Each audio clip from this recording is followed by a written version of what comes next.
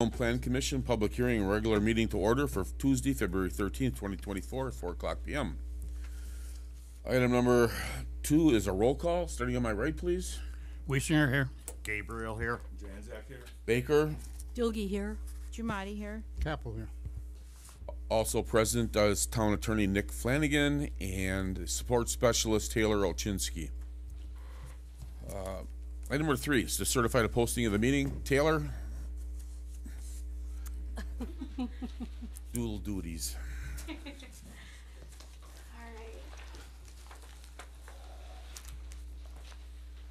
So I certify the posting for today's meeting for the Town of Rome Plan Commission public hearing and regular meeting at four P M. That it was posted to the Rome Municipal Building at one forty, or one thirty-two P M on Monday, October thirtieth. Wait, hold on. This is the wrong one. I apologize.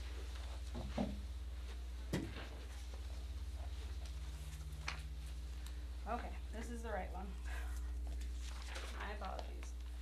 Okay, it was posted on Thursday, January twenty-fifth at the Rome Town Hall at three fifty-four PM, posted at Kwik Trip at four PM, posted at the Nekoosa Port Edward State Bank at four oh eight PM, and emailed to the Wisconsin Rapids Tribune at nine oh three AM. Okay, thank you. Number four is to approve the agenda. Is there a motion to approve? Motion to approve as presented. Second. Motion by Jerry, seconded by Diana to approve the agenda as presented. Is there any other discussion? Hearing none, then all in favor say aye. Aye. Aye. Opposed? Motion carried. Number five is the citizen comment portion of the agenda. Um, the first half of this is for people that want to speak regarding something that's not on the agenda. Taylor, do you have any orange cards from anyone? Uh, no. Okay. For those of you in the audience, I'm, we're pretty sure you're here for one specific reason. Um, and the commission will take, will also take comment from the public on an agenda item as called by the chair, but not during the citizen comment portion. Please note that once the commission begins discussion on an agenda item, no further comment will be allowed from the public on that issue. The next section is no action is contemplated except possible referral to a future agenda. Item number six, information updates, recent correspondence, current events, and announcements. Bill, Lori, Diana? I would just like to welcome the newest member to our plan commission, Mr. Tom Gabriel. Uh, s- He's uh, here for this first exciting meeting, so enjoy, Tom, and welcome. Thank you. Anything for announcements from? No. Okay. We'll move on to item number seven, to open the public hearing. And seven A is consideration of a revi- revised site plan, plan of operation for Wisconsin Trap Shooting Association to construct a storage building on the property located at thirteen twelve Akron Drive, also, also described as Government Lot fourteen, Section six, Town twenty North, Range six East, Town of Rome, Adams County, Wisconsin, with a parcel number of three, three zero dash six zero eight. Taylor?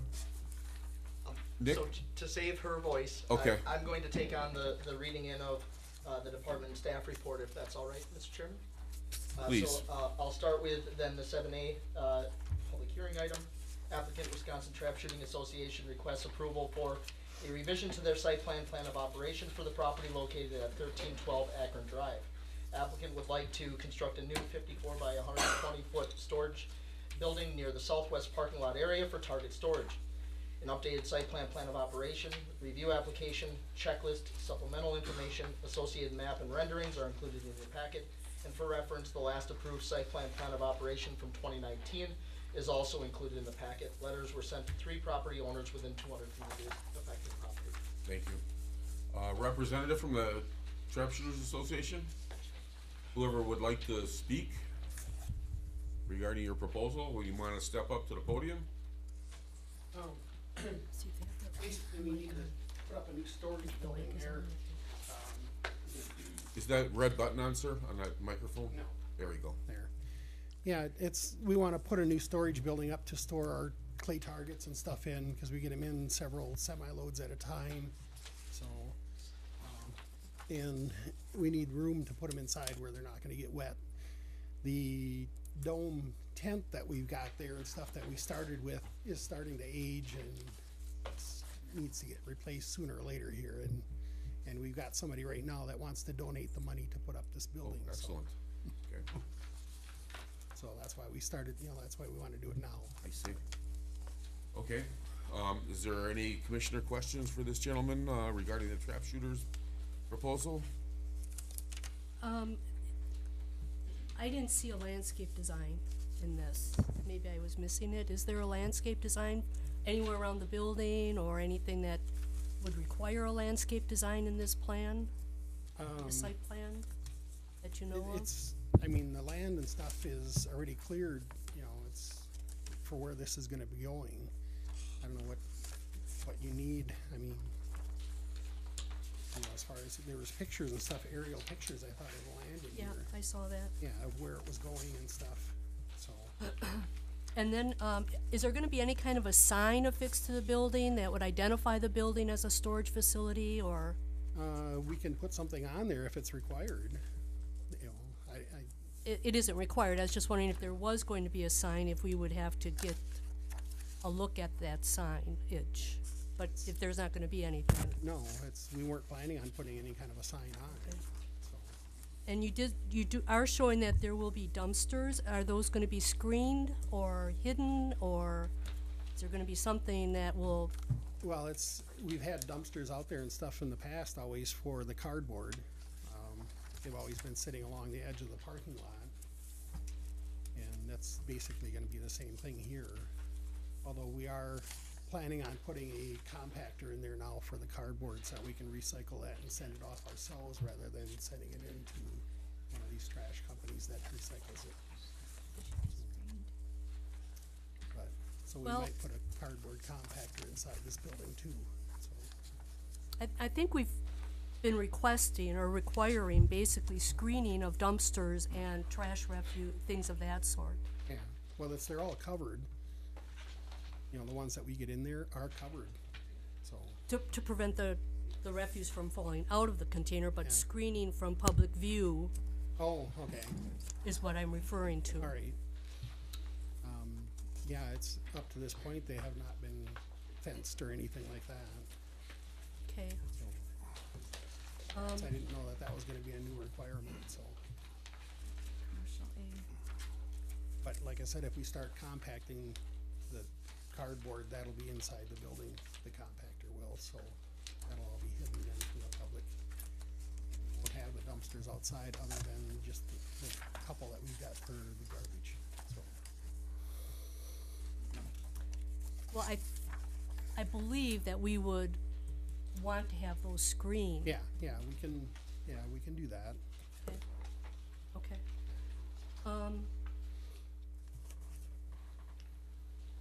Are we to be requesting a, uh, performance assurance in this regard, with regard to the storage building being, Yeah, so I, I would just note generally if, if that question is directed at me. Yes, it is, I'm uh, sorry. That we, so in this case, we have had, uh, prior approval back from twenty nineteen.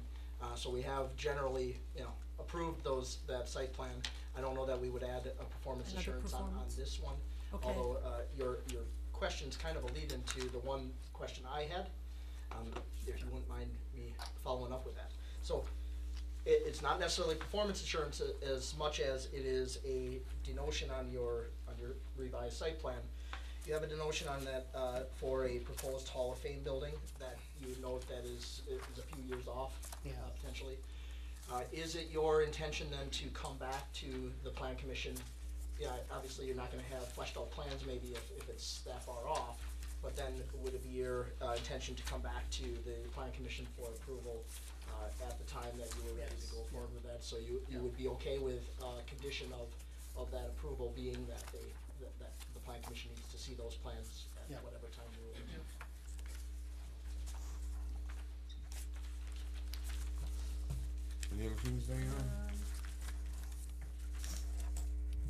I, um. I just have a, um, with regard to the design standards in our zoning. They, it, there are references to a large structure, um, and it it should avoid a monolithic big box appearance. Buildings which advertise by appearance like storage buildings, um, that they should be avoided. And that also if they lack design details, those should also be avoided. And I do know that it, this is just a storage facility and that's all you're going to have it for, but, um, I just wanted to point out that the design standards ask that we take that under consideration with regard to the design of the building that you're proposing. It's gonna be basically the same form, design of the existing building that's there, the same color tin, the same, you know, basic design, so. um, So it will match in with that, so. I have a quick question. I don't think this is, uh, I don't think you can see it from the road. No, no, it does not show from the road, it's hidden by trees and stuff. okay, So it's in the center of your property, right Yeah, the parking yeah. lot. Yeah, you'd have to drive into the driveway to see it, so, and it is still hidden by the trees and stuff even in there, so. Like if you're in the campground section, you probably won't see the building at all, so.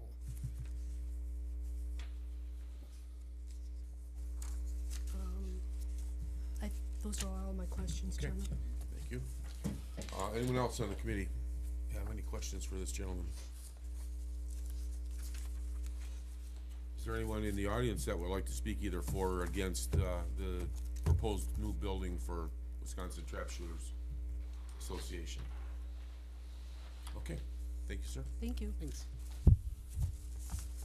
Seven B, consideration of the issuance of a conditional use permit for the following purpose, allow for a campground at the property located on Archer Lane, owned by Barnum Bay Beach and Marina LLC, also described as Lot One, certified survey map four six seven zero, located in Government Lot Two of Section twenty-eight, Town twenty North, Range five East, Town of Rome, Adams County, Wisconsin, with a parcel number of zero three zero four zero eight fifteen.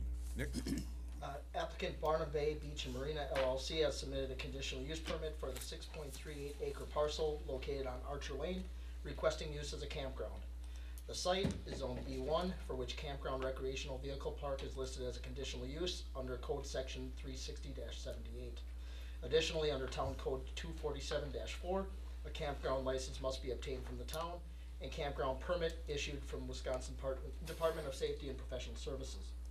Finally, the town code article uh, twenty-six sets forth requirements with the site plan, plan of operation for new business development and associated development and design standards.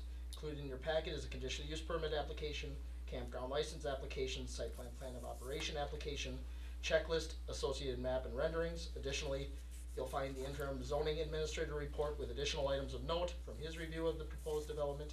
And a final note, uh, that consideration of the site plan uh, plan of operation is contingent on the plan commission's decision on agenda item number twelve, so I'm not gonna read you the same thing again.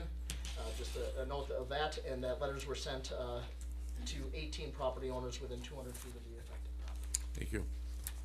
Um, the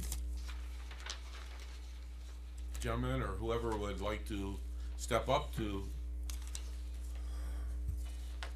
for the proposed conditional use permit? Hi, yes. Hi. I'm Mark Anderson. I'm the main owner of uh, the lure in the Barnum Okay. Bay. So we are applying to do the campgrounds. Um, this is a six acre parcel that's currently right adjacent to the restaurant. Uh, what we are hoping to do is put in thirty to thirty-five uh, pads where we could have campers, RVs park. Uh, this would not be a wild, poorly kept place. It would not be a nuisance. Uh, the application does have requests to also be able to put uh, campground owned units on these spots so we could have RVs or uh, model home uh, type spots on it, um, luxury park model homes that we would be able to have there. Uh, I have samples of what we would be using as our finishings if you'd like to see them. Uh, and I'm happy to answer any other questions that you'd have about the application packet that you have. Yeah, I think the samples, we would wait, uh, till we got to the point where there was site plan and plan of operation to look at that That's kind of fine. stuff. Um, is there, okay. Anyone in the audience? Uh, you, you're, oh, I don't wanna I'm cut you happy off. to answer any Okay. questions. I'm happy to answer your Um, questions. Is there anyone in the audience who wants to speak in favor of this proposal? Is there anyone that would like to speak against this proposal? Okay, we'll just kind of point you out and call you by, sir, do you wanna step up to the microphone first, please? Right up where this gentleman is, yep.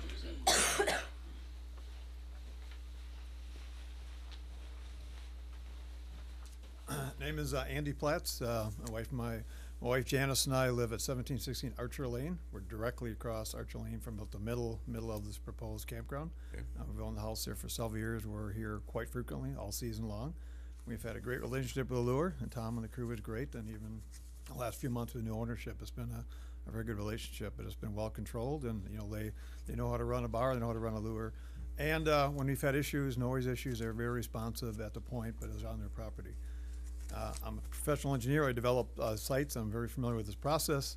And when I look at what you're trying to do is shoehorn a high-density campground into a six-acre parcel, it's a crazy use of land. It's not what that. It's not the right fit for land around it with all the residential single housing. When you start looking at the economic factors that are outlined in a letter without going into detail, from a tax base, just from overall revenue generation, it makes no sense from a land use standpoint, which is what conditional use point are about. Beyond all the other issues of looking at campgrounds, and we all know what campgrounds can be and cannot be, but whether it be noise, extra uh, light pollution, the aesthetics of driving down Archer Lane, the additional noise, ATVs and generators, RVs running, there's a lot to be controlled. That's if, if it even goes forward, it'd have to be an awful lot, but just the density of that, and when you look at the, where the stakes are with the right-of-way stakes, a thirty-foot offset, you're gonna have these RVs backed up very, very close to all those hous- houses on Archer Lane. There's no way it won't be an aesthetic issue and a noise issue and just added traffic. Cause already, you know, we can, we can work with the, um, uh, the, the watercraft shows that I have there and sailboat shows, the fishing tournament. It's awesome. They've all been good and those, those sites have been controlled right at the lure when they've camped out. But they've really kept the curfew down. It's been wonderful for noise and have been very responsive. Something like this, it's uh, very difficult. Very difficult to control and ensure they're twenty-four hours a day. We live there twenty-four hours a day. The owners do not. The owners do not even live in the, in the, in the town. And so who's gonna monitor, who's gonna control it? So we've got a lot invested in these houses. We keep our properties up to a very high degree. From a tax basis, we pay a fair share of the taxes in the area. This will definitely degrade the tax base for sure. So I strongly oppose the, uh, development of this campground. Okay, Were you able to sign the clipboard with your name and address and stuff? Yes, I did. Okay, thank you. Thank you. Um, there was another gentleman over in this section here, I believe, maybe? Come up, sir, please. Can you ask them questions? We're going to when we're done with the audience. Yeah, Oh. then we have the audience and- You could, sure.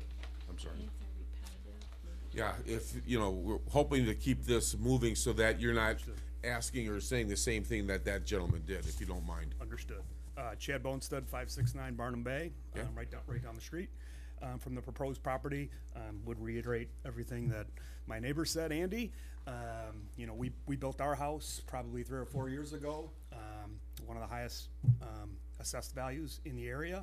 Um, and it was all for the intent to have a nice quiet place to view and, and visit on the lake, um, which this property would, would certainly disintegrate. Um, I did know the former owner of the lure quite well, um, and he didn't build a campground there because when they did have temporary sites and events that were going on there, not many of those people went into the lure to, to spend any money, um, and it was more of a headache than it was than it was a, um, a benefit. Um, I would agree with Tom. You guys got a great establishment. I love it. We go there all the time. My kid fo- used to work there, as a matter of fact. Um, but but this proposed plan, I think, would be very detrimental to the 14 to 15 million dollar tax base that I put in my letter of assessed values in the near, nearing community with over 200 thousand dollars of taxes that they're paying. Um, could have a very big detriment on those those property owners. Um, and I've spoken to I think almost 30 of the 35 property owners within those two establishments, and all of them are vehemently opposed to this this this uh, proposed campground on that site for the reasons that uh, Andy mentioned and the ones that I've just declared. Okay, now, did you have a question? I do. With regard to the tax impact that you attach to your, um, you said the potential positive positive ten percent on campground, negative negative ten percent on Barnum Bay. Where do you derive that, that number from, that figure from? Is that, uh, research that you've done? Is that verifiable? Is that factual? Uh, I- the, the, the assessed values of close to fifteen million dollars and the two hundred thousand dollars of taxes that are paid are from your guys' website, um, fr- from the, from the county, so I think those are all valid numbers. Certainly, I cannot predict exactly what it's gonna do to property values, um, but I think if you look at the average price of the homes in that area compared with a campground with thirty-five sites sitting directly across from them and right on the path on the way into them, it can't possibly improve it. It has to go down. If it goes down by a mere ten percent, that's twenty thousand dollars of, of tax base that this county loses. Okay, but do you have any, anything to verify that if a campground is placed within a residential area, that the property values will decrease ten percent? I did not bring anything specifically with, that, that would dispute that. I've looked Have at a you bunch of. seen re- anything I've like seen, that? I've seen a ton of things that would dispute back and forth both ways, cause there's Okay. always two sides to this argument. Absolutely. Um, um, but but I think you need to really look at the area that this campground is being placed in. It's very dense. It's very small compared to a nice, a bunch of beautiful homes around it, um, which I think is very different than if you put a campground, which I would be, I've attended and I've gone and I would love to have in the community in the appropriate space. I just don't feel like this is the appropriate space right near the lake. Um, with with not only what Andy mentioned, but also my concern is I'm not up there all the time. I live in Illinois, um, and I like I said, I have a very nice house there, and we have a very nice pier with six or seven boats on it. Like, how do I control people going down there and messing with the boats, messing with the pier? My insurance going up, our, our homeowners association, homeowners association insurance going up because damage gets caused to the pier. Someone gets injured on the pier from the campground. Um, you know, we don't have that risk today, um, but that certainly would would, would be a, a very big risk in our minds um, going forward if the campground was put in that place. Have you, do you think if you were to speak with, um, someone that provides you your insurance, that they would tell you I've- a risk assessment on something like I've, this? I've put a call into them. I have not been able to do that yet, but I Okay. do have a discussion with them because, matter of fact, our insurance is due here this month. Oh, okay. Those are my, those are my Thank you. questions. Thank you.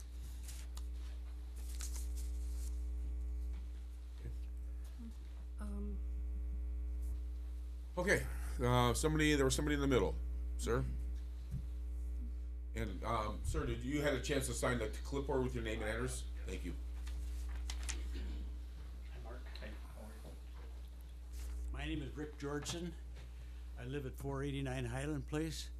I've, uh, lived in the town of Rome for twenty-four years. I've sailed out of Barnum Bay since Barnum Bay was built. Uh, that's, uh, thirty-six years or so. I've sailed on Petenwell for fifty-five years. Pretty familiar. I love the area. Um, I ride my bicycle on Barnum Bay Trail down to the lure and around the condos daily do five miles every morning after breakfast, and anybody that's in the area probably has seen me. I've met Dan. Dan's doing a super job at the restaurant, does a super job at the marina. Things are really looking up. I mean, we love the place. We love the place. But really, I have some serious concerns. This just is not an appropriate location for what we're talking about. It's, it's right, right, right on the backside of some very nice condominiums. I'm quite a distance from it, so I won't see it. But people that are in that area, it's just not a fit. And once that, if that was to go in place, condominiums that would be, would be, you know, few, right now when a condominium goes up for sale, it seems like it's not on the, on the market for two months, and they're gone. With, with a campground there, I just don't know if that would really be the case.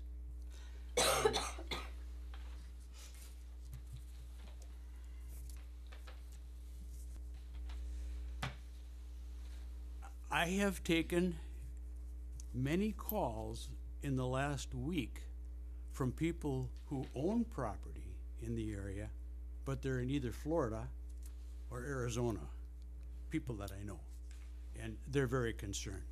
Our association has written a letter, Archer Park, you've got that. Um, love the place, it's just not a good fit. My suggestion my suggestion is to take that six acres or whatever it is, divide it off into five or six lots, whatever it is, and they would sell.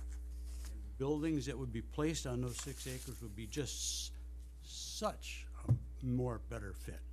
And the investment that the lure has in the land, they could return, bring their money back, and they wouldn't have a headache running a campground. Thank you. Any questions for this gentleman? Thank you for your work on the Packers too. Thank you very much for that.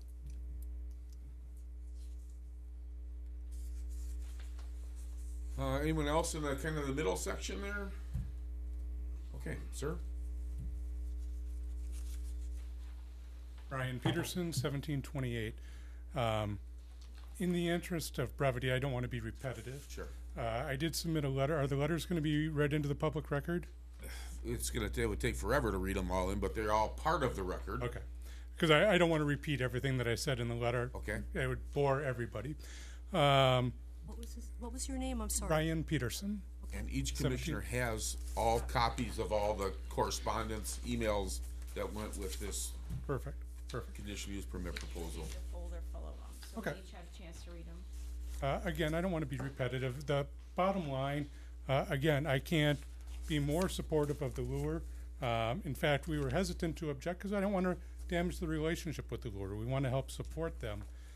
But this is the wrong project in the wrong area. Uh, for all of the reasons that I detailed in the letter, I think it's very important to consider how this would affect the neighborhood character. It will change it dramatically and not to the positive. For those reasons that I, I would ask that this be rejected. Okay, thank you. Anyone else over on that side of the room? Okay, and you had a chance to sign a clipboard as well, sir? Yes, sir. Okay. Mark, is it? Yes. Okay, your turn back up there to, All right, thank you. So I think, um, I appreciate all the comments and the concerns. Um, I understand what you are all worried about. Uh, what we would say is, we don't expect this to be uh, a nuisance for you. We don't expect it to be something that actually brings property values down, uh, from what we have seen as, as our research. Uh, and I don't have the research to hand you to prove it, uh, but we have not seen significant decreases if it is a well-run, well-maintained, uh, property. Uh, the concern was about this being high density. Uh, campgrounds are often zoned, uh, to approve up to, double the number of units that we are looking at. They often will approve ten spaces per acre, so up to sixty, uh, is commonly approved, and we're looking for 30, 35. Uh, we expect this to be well-run, we would be happy to have quiet hours, we would be happy to treat this exactly as we treat everything that's been happening at the rest of our property. Uh, and everybody seems in agreement that things have been looking up, things have been doing well. Uh, has been doing an amazing job with it, and we expect that it will continue to do well on the current business and in the campground. Uh, we, I heard concern about, you know, how would this affect people coming out onto our pier? I mean, we've had people at our business for decades at this point, and I haven't heard about anybody who's gone on to other piers, uh, this year. We'd be happy to have signs up, we'd be happy to talk about fencing if you want. Um, we have a larger than required buffer, uh, for the setbacks. Uh, I think it would be minimal eyesore, if anything, from the road or from the neighbor houses. Uh, there would be trees surrounding essentially everything except where the driveway in and driveway out is set to be. Uh, I think this would be a great thing for the, the area. And we've actually had quite a few people stop in saying they're looking forward to having families stay there when they come visit instead of parking their RV in their driveway, uh, or parking, you know, at the campground fifteen minutes away. They'd be excited to have that where we are located. So, that's where we are with this. We think it would be great for the area. Uh, obviously it would be good for our business and we don't want it to be something that created us being a bad neighbor. So, our goal would be to have this and to treat our neighbors well. commissioners. Yeah, please. If that's okay with you. Can we have more back and forth? Sure, go ahead. Have you ever run a campground, or has anybody on your team run a campground? So I have not run a campground. Uh, I have another business that functions kind of similarly. I have a ski hill as well, uh, a downhill ski hill with Airbnb units, and uh, we have kind of camping that occurs there. Uh, but no, not a not a specific campground. I've had several rental properties, and, and a matter of fact, our homeowners association has all voted against. um, I think it was, uh, it was Oakland, eleven, eleven to thirteen or something like that, against just even short-term rentals in the area for, for, for the concerns that I had. Sure. Just think, you know, a campground, Pretty well, yeah, yeah. by thirty-five, right? And I can completely understand the question of short-term rentals. I think they are treated very differently because there's not staff there daily, there's not staff there watching it. Uh, you know, the best. Plan to have staff there twenty-four seven? No, but there's staff that would be there for the time that would normally be the active hours. Right, Uh, problems are gonna happen at night when, when there's nothing else to do, bar to go to. No, I understand what you're saying, and those would be guests that wouldn't be welcome, they could be kicked out. It's very common to have noise monitors, if we're not there, it's very common to have, uh, somebody drive through the neighborhood to make sure that it's being kept up, to do it to the, the campground, to make sure it's being kept up, to make sure that it's not being loud.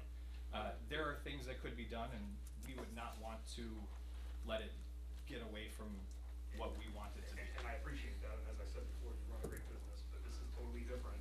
And I'm not gonna be up there to be monitoring it on the twenty-four seven that you're not there. I understand. So, so that's a problem for the neighborhood. I understand what you're saying. I hear you. I, I don't have that same fear for it. I think it's all based on the, the way you screen your guests, the way you screen tenants. Uh, we would be using a professional, uh, service that does the vetting and renting, you know, similar to an Airbnb type, uh, service. The, the one we're looking at is called CampSpot. And they handle a lot of that ability to screen people as they're booking and, um, to be in charge of, of what is happening when they're there. I'm, I'm happy to provide you from my Airbnb experience of the three or four that I've owned. Yeah. The problems that I've had using a professional service. I hear, I, I have, Still causing problems. I have an Airbnb as well, I mean, and there's been good, there's been bad, the, the good, uh, has far outweighed the bad for me as the owner and from our neighbors who we check in with regularly there. Okay? I think Mr. Jorgensen, you had another, Yes. Mark, are you aware that there's a, a campground being planned at the corner of thirteen and C? And I understand it's up to three hundred sites. Yes, I, I have heard that, and I would, if I was their neighbor, I'd be much more worried than what we're looking for.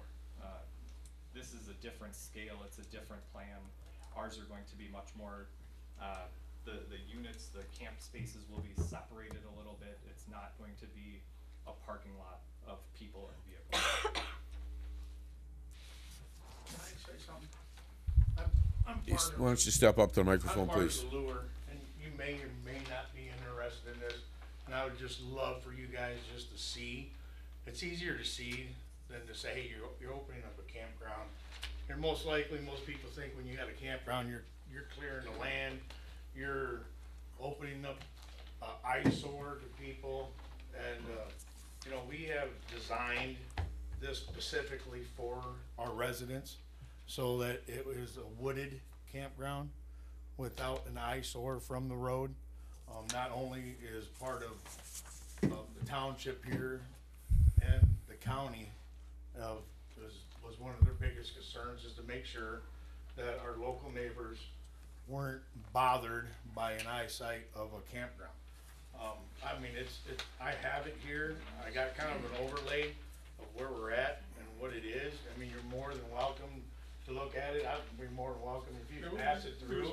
There was some Okay, it's in there. left So it's outside, perfect. right? Um, and I just wanna address one gentleman over here said something about generators and such running.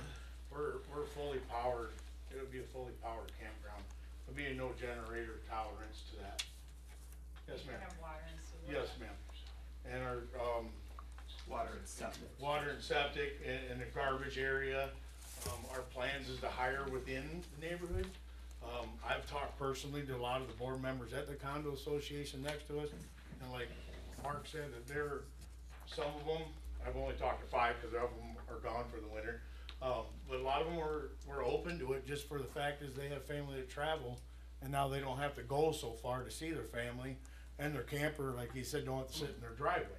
Um, it's, it's gonna be a more of a high-end campground than it, than it is Petenwell Park. We're not putting in a pool and, the- and slides and, uh, not that we're not family friendly, but you're not gonna have kids running around like crazy. It's mainly for a quiet setting to enjoy the lake. It's, um, I live two blocks from there, as far as who is gonna be overseeing this, who is gonna be viable where he's, you know, don't live in the neighborhood where I do too. You know, um, if there's any means of this gonna be uh, an issue for property taxes, lower assessment of your house, you know, I would also be sitting here with you guys too, but I live right around the corner. Um, I, I think it's a great idea. Um, it would, for those that see our jet ski races, camp, campers all over the place, I think that's more of a nuisance than it is to have them in one area in a clean campground. Being well taken care of. And being ran, hopefully, not only by us, but some of our local retirees that would love to get out of the house during the day and go around and, and help clean up and get paid for it, something for them to get out of the house and do something.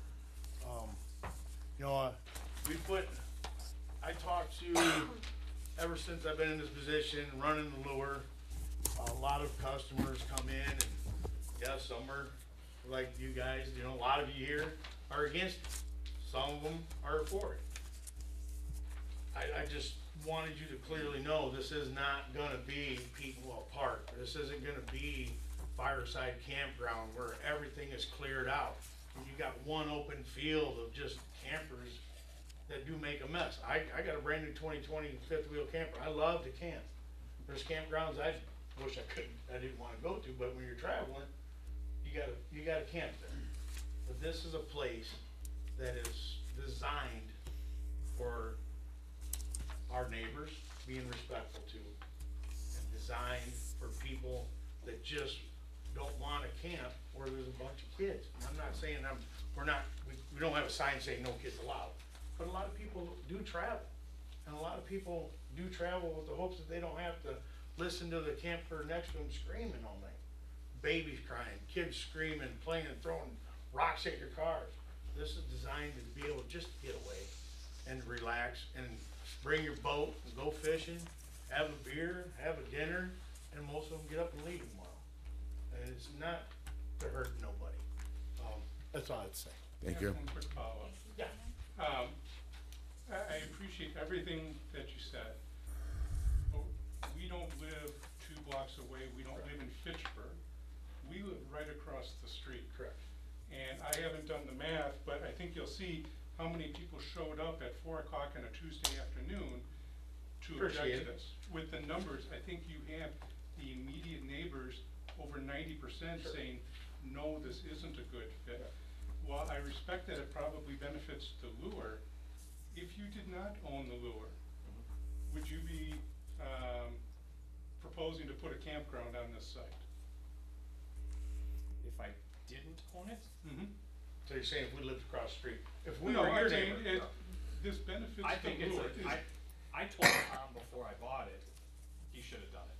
I told him he should do it and let me buy it when it's done. But is this a viable standalone project, or is this Yes. just to benefit the lure? No, I, I think it would be viable standalone. I think, uh, if you look at what, So you would propose it even if you didn't own the lure? and I own the lot, Mm-hmm. yeah, I think it's, it would be perfect for this spot.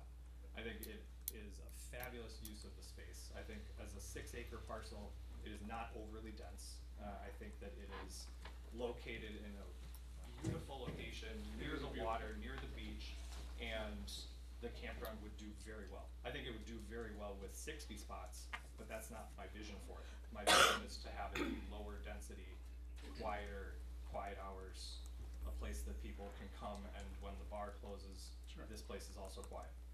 I would just ask the commission to look at the people that are truly affected by this, around the surrounding area, how many showed up and the percentage of objection. This isn't a close call, guys. We, we love you, you're doing a great job. No, I hear you. But from the I- I- people we that are understand. living in, in this area, Well, the, the, the naysayers are often the loudest, and. well, they're the ones that are being affected by it most directly.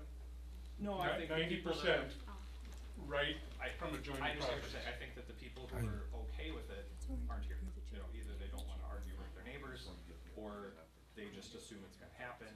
But I- I respect the people who aren't happy about it are loud, and that's, that's common. But we're the neighbors. I understand that. The people that are for it aren't the neighbors. We, Well- we represent the neighbors. We've had neighbors that have stopped by and are excited for it as well. But we've quantified it with the association, Eleven to thirteen, What- that's fifty percent-ish. no, eleven to thirteen was a different issue about short-term rentals in the Barnum Bay Association. In regards to this, the neighboring association submitted the letter, what was the numbers on that letter? Thirty-five, Thirty-three out of thirty-five objected. Uh-huh. In Barnum Bay, I don't know how many we have represented here, but I'd say we're over ninety percent in Barnum And- Bay and is this objects. all within two hundred feet, or is this just people that are fifteen hundred feet, three thousand feet, a mile away? I'm within two hundred feet. All. But, and I would, I would almost say to re, reapproach it if needed to be when everybody is at Snowbird and, and those that, Is that what Nick said? the same amount that I've spoken with prior to Snowbird had no problem with it. I mean, there's a, there's a fine line of, kinda like, the ones that But we're are gonna against it are represent- here, but the ones that are probably three hundred that are for it are out of state. But what we're saying is that it's not like fifty percent of the surrounding lots have not been represented. Yeah. It, the snowbird thing would make sense if we've only heard from fifty percent. But when you have thirty-three out of thirty-five object, again, we haven't quantified it in the Barnum Bay, but I'm sure it's ninety percent people have weighed in. They have had the opportunity and they're saying, this isn't a good fit. Okay, let me let, uh, some of these other people weigh in that might have something to say. Uh, sir, you had raised your hand for a moment? Well, one, Why don't you s- just uh, s- step up so that we can hear you? That This is being broadcast over Channel three hundred, so we want everybody to be able to hear that, uh, what's happening. You need your name up here too. My please, name sir. is Rodney Peterson. I'm at uh, 1725 Archer Lane. We had spelled out in the letter some of the serious concerns we have. And you have chosen not to read that letter. The concerns really need to be a- addressed, and I don't know how we're going to hear the response to the concerns. Example, campfires right in the middle of the woods, okay? Campers love campfires. What protection do we have? Adams County had a horrible fire years ago, okay? How can you control people that are indulging and having this huge campfire in the middle of a pine forest? Now, that was one of the issues on the letter, mm-hmm. among other ones. So my, my, I'm a little surprised why you may not want to read every letter, but why don't you read at least one of them that has all these concerns? And um, we'll never find out how uh, you were able to discuss them. Maybe you don't think they're an issue, but they are. Well, Fire is an issue to me. You need to give us a chance to talk to him first. We haven't had our chance to question him and even talk about any possible conditions if this did get approved. So we have a lot of questions that we want to ask this gentleman as well as to how things are going to be done. Do, y- do you uh, reply back to us uh, uh, with our concerns? They'll, they'll be, they'll talk about it publicly. Okay. Thank you very much. But I appreciate. I your understand help. what you're saying, Certainly, I appreciate your help. Thank you. Is there anybody else that wants to speak for the first time?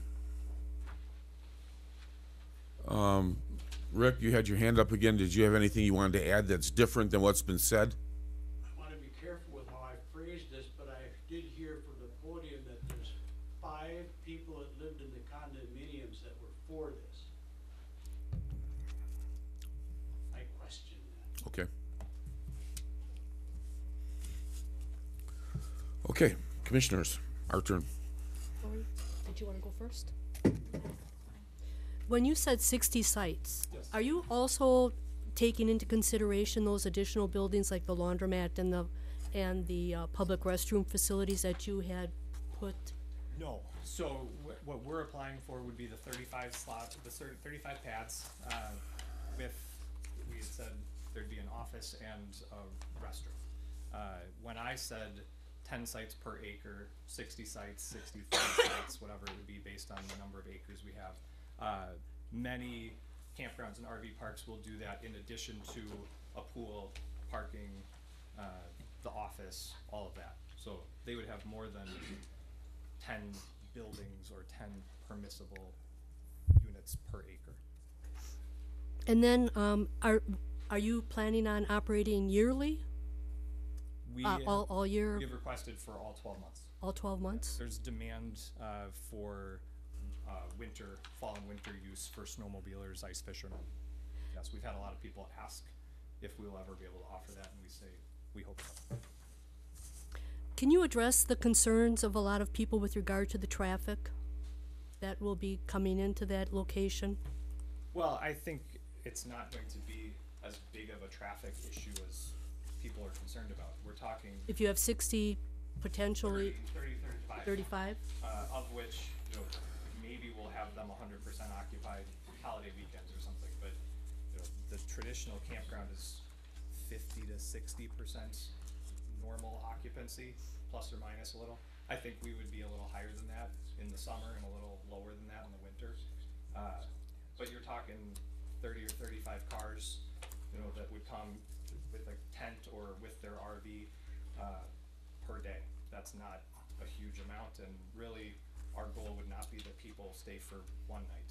They also aren't gonna stay for fifteen nights. But I think if people were staying for two or three or four nights at a time, uh, we're talking about an RV coming in, spending a couple days and leaving. Uh, that's not a huge traffic increase compared to what we already bring in in the summer to our location, uh, for just guests coming to the restaurant, to the beach, the marina. Uh, this campground would be adding a very small amount of traffic. Sure. Based on your question, Sure. I just wanna clarify, please. The potential, if I'm understanding you cor- correctly, I'm. I'm hard to hear. No, I'm sorry, I can talk No, louder it's, too. no, it's not your fault, it's tonight, and it just gets bad sometimes. Um, you're saying you could potentially put sixty here, you only are interested in thirty-five. We are never going to apply for more Right. than what we're asking for now, which is the What, thirty-five. what, what is it that caused, that caused you to only ask for thirty-five? There must be something in your mind that you're only developing thirty-five sites.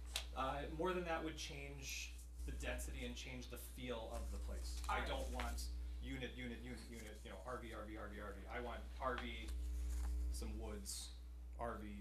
Alright, let me woods. ask you this question, Yes. density is a con- is, density is a concern Yes. for the development. Would you be open to fewer? I think it would depend on how many fewer, but yes.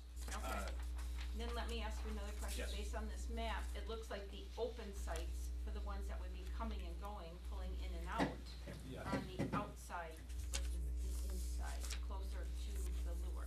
The, If I'm reading, Yes. am I reading this map correctly?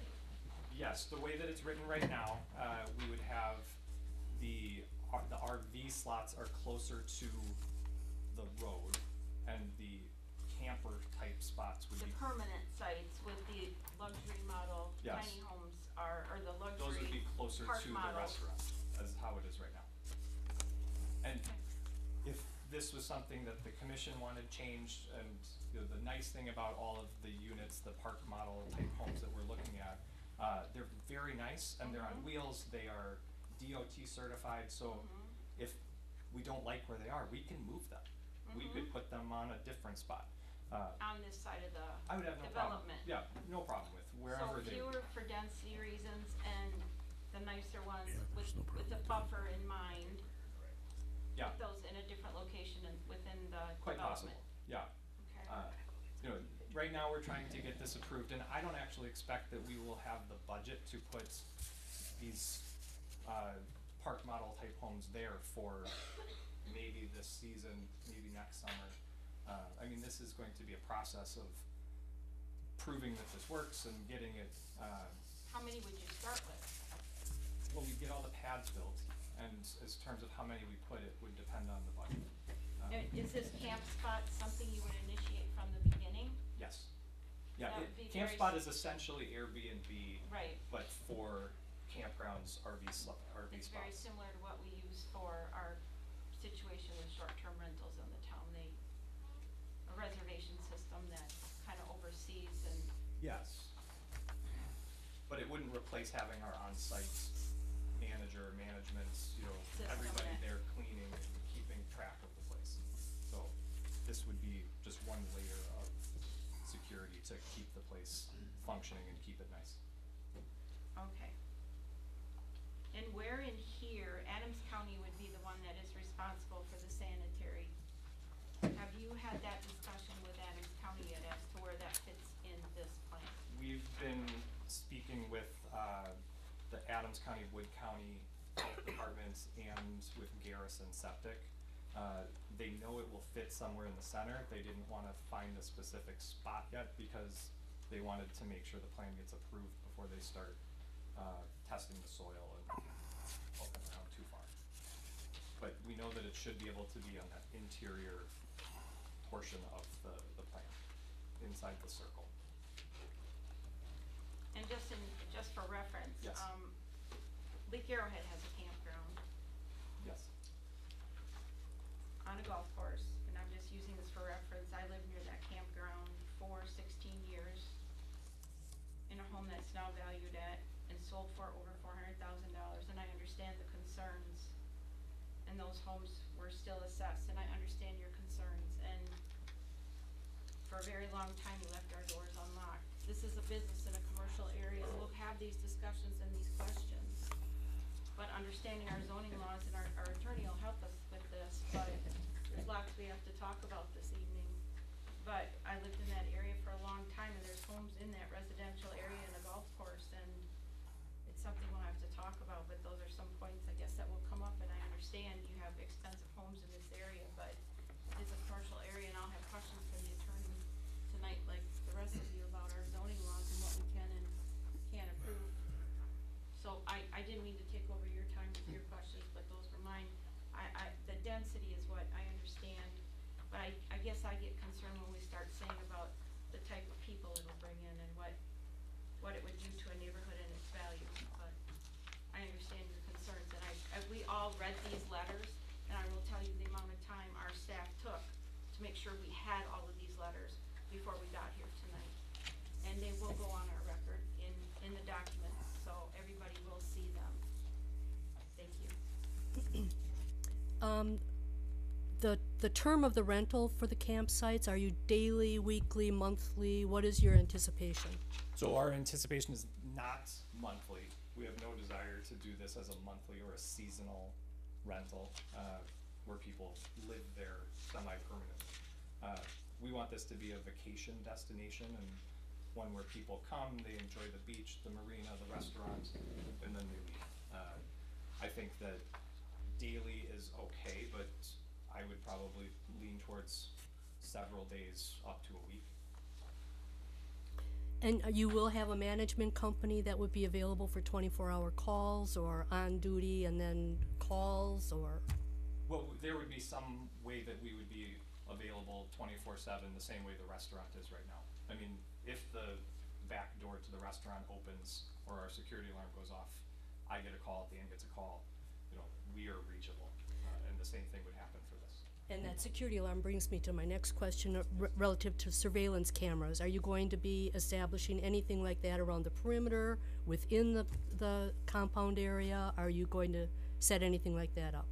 Yeah, we have not discussed it yet. I am very open to it. We have security cameras at the restaurant already. It would be very easy to add several additional cameras, you know, for the ingress and egress, which we've actually thought about, just looking at license plates. Uh, but we could have as many or as little as the city recommends or our neighbors want.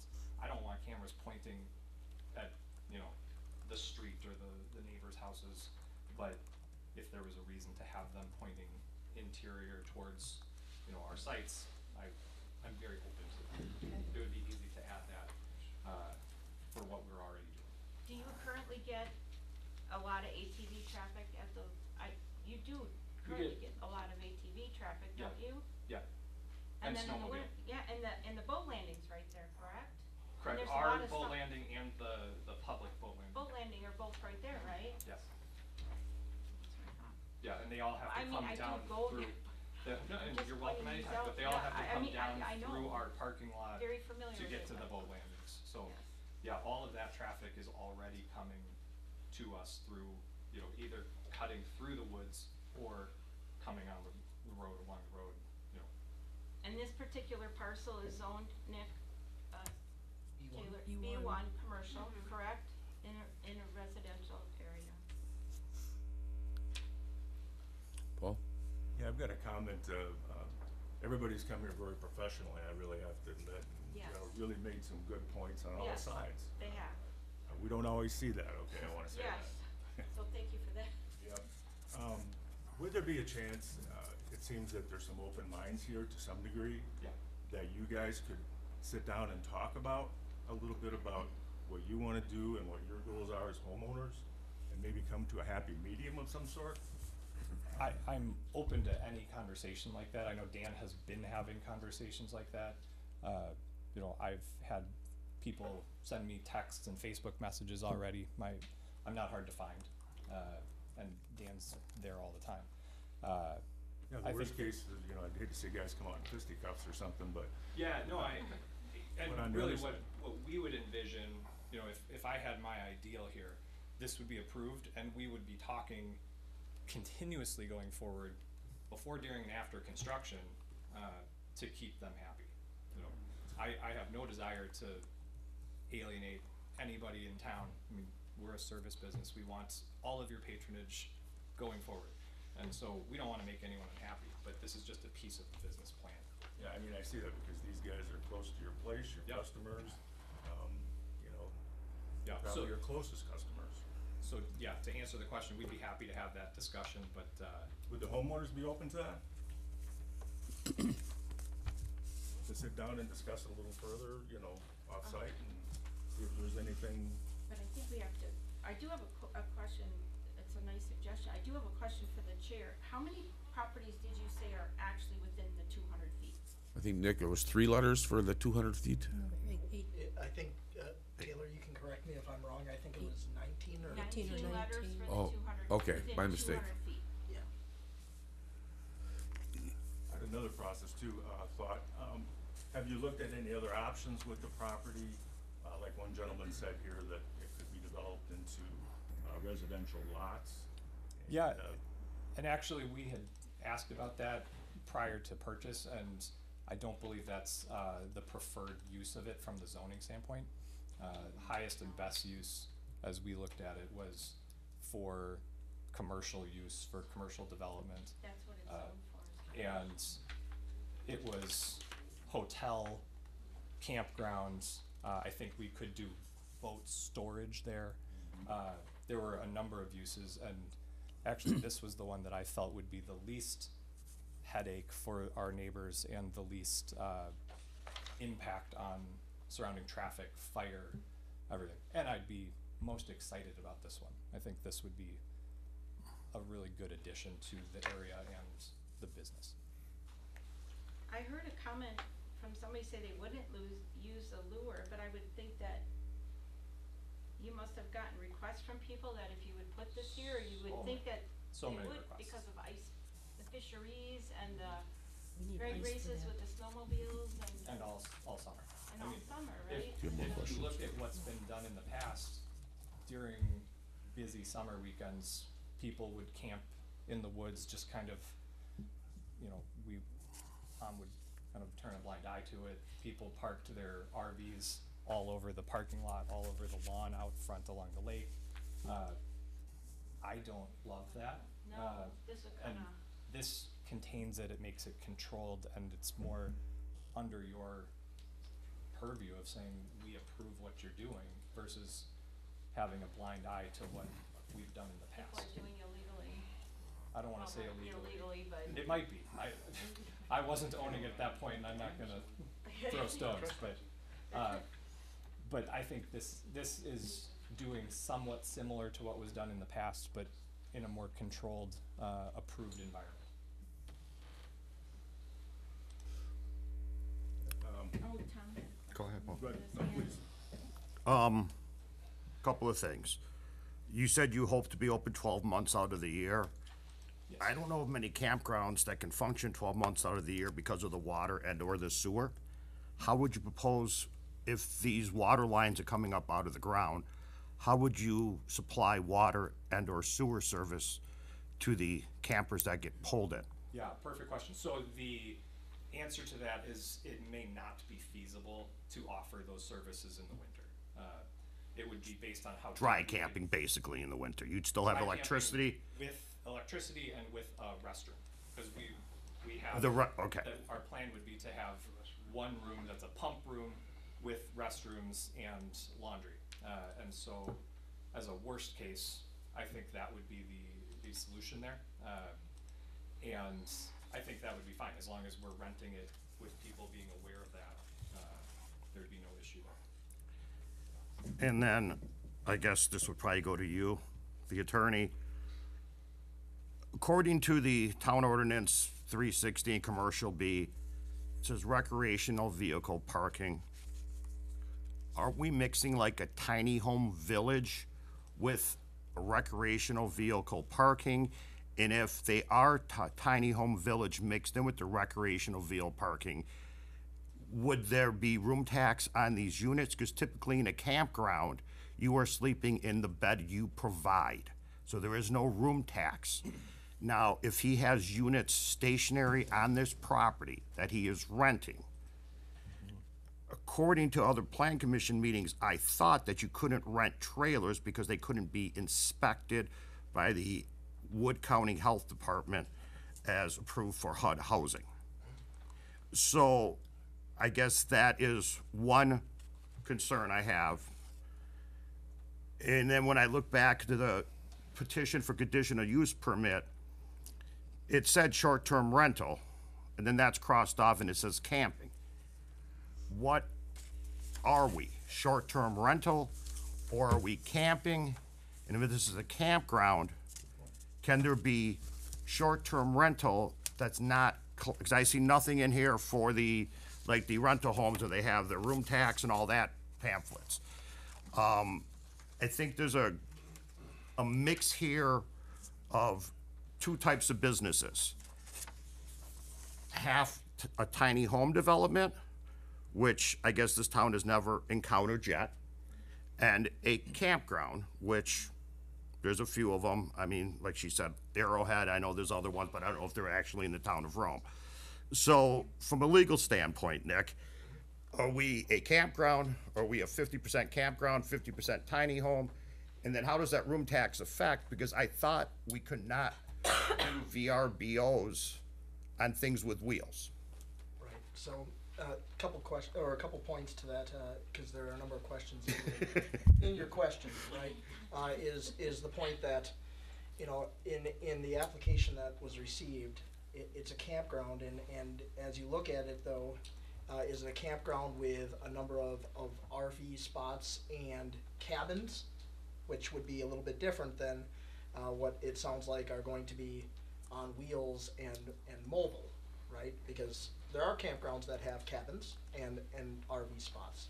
So, uh, I would just maybe make a, a, a general comment to you in that if you were to, if you were to decide, uh, to approve something like this, remember that you can place conditions in place that, uh, that re- reflect certain use, you know, the, the specific use of that. Is it just RVs? Is it rustic camping? Is it cabins? What exactly is it? Where's the layout, uh, right? I mean, some of those things are going to be site plan, plan of operation. But to your point, Tom, i- you're ask, i- you're asking the right question because some of that is, is starting to, uh, I- I think blur into that point of, of, uh, whether it's just pulling in like a, a house on wheels to do a short-term rental. a house on wheels, there's no room tax applied to it because that person provided his own bed. You're not renting a bed. I thought that we could not do short-term rentals and campers in the town of Rome. That's So, what I just- thought. Just a, a, kind of a piece off of that, so, so we have short-term rentals in residential zoned areas, of course, right? No question, We've got a number of them on our agenda tonight. Uh, we also have business zoned property in this town that have cabins or, you know, or, or rentals that, that have a little bit more density, cause they're business, but they're operating uh, as short-term rentals or like, kind of like, uh, tourist rooming house, uh, bed and breakfast kind of, of facilities, uh, and they're absolutely paying room tax. So, uh, I, I would say that we do have business zone districts that have cabins on them that do play room tax. Eagles Nest is one that comes to mind, that's zone B one. But I guess I agree with the cabins. I guess my point was, these are movable with wheels. Mm-hmm. We have nothing in the town of Rome currently that we allow people to rent that have wheels that are movable. Yeah. So, I, I can help answer some of that too, whenever. Yeah, it, it can be, that, that can be a, a very legitimate concern, and again, it can be a condition, mm-hmm. a part of your approval. It- You don't have to j- approve this as black and white. Be very clear that this is listed as a conditional use. If you do approve, you can absolutely put conditions on, and if they don't agree to the conditions, and you have the right conditions, right, like legal conditions, right, you can't just put unreasonable conditions, there are, there are some certain metrics to that. But if they don't agree to it, then, then you can deny the conditional use permit. I'm not saying that you should put unrealistic conditions, but if you have a concern with those type of units, and there's maybe some alternate, then maybe that's how we solve it. But from you, Isn't it- oh, I'm sorry. but from your uh, legal standpoint, if the lure owns these trailers and they are being rented, here what a camping unit is. would they qualify says for right room what a tax camping being unit added on? Because Mike, what I'm having a hard time comprehending is, nobody else in this town's allowed to rent a trailer with wheels on it, even if they're willing to pay room tax. You're not allowed to rent it if I bought a lot on Eighth Avenue and I put on a beautiful fifth wheel, I would not be able to rent it. I would be denied from the town, because it would not pass the HUD inspection aspect of it, and it's a trailer. Mm-hmm. And they do not allow renting of trailers in the town. So without a foundation on these, I'm still considering these a trailer. And if they are DOT approved to go down the road, then they would have a license plate, which they would then pay the state of Wisconsin for to be able to travel with them. So the town's getting no room tax on these, the town's getting no assessed value on these. And this is the only place in the town of Rome that we're gonna allow trailer rentals. That's, I'm, that's my opinion, that's my comment. Go ahead, Lori. No, I appreciate what you're saying, I understand that, but is it correct to also say we don't have a true site plan, plan of operation yet? So to rule something out on, I understand what he's saying,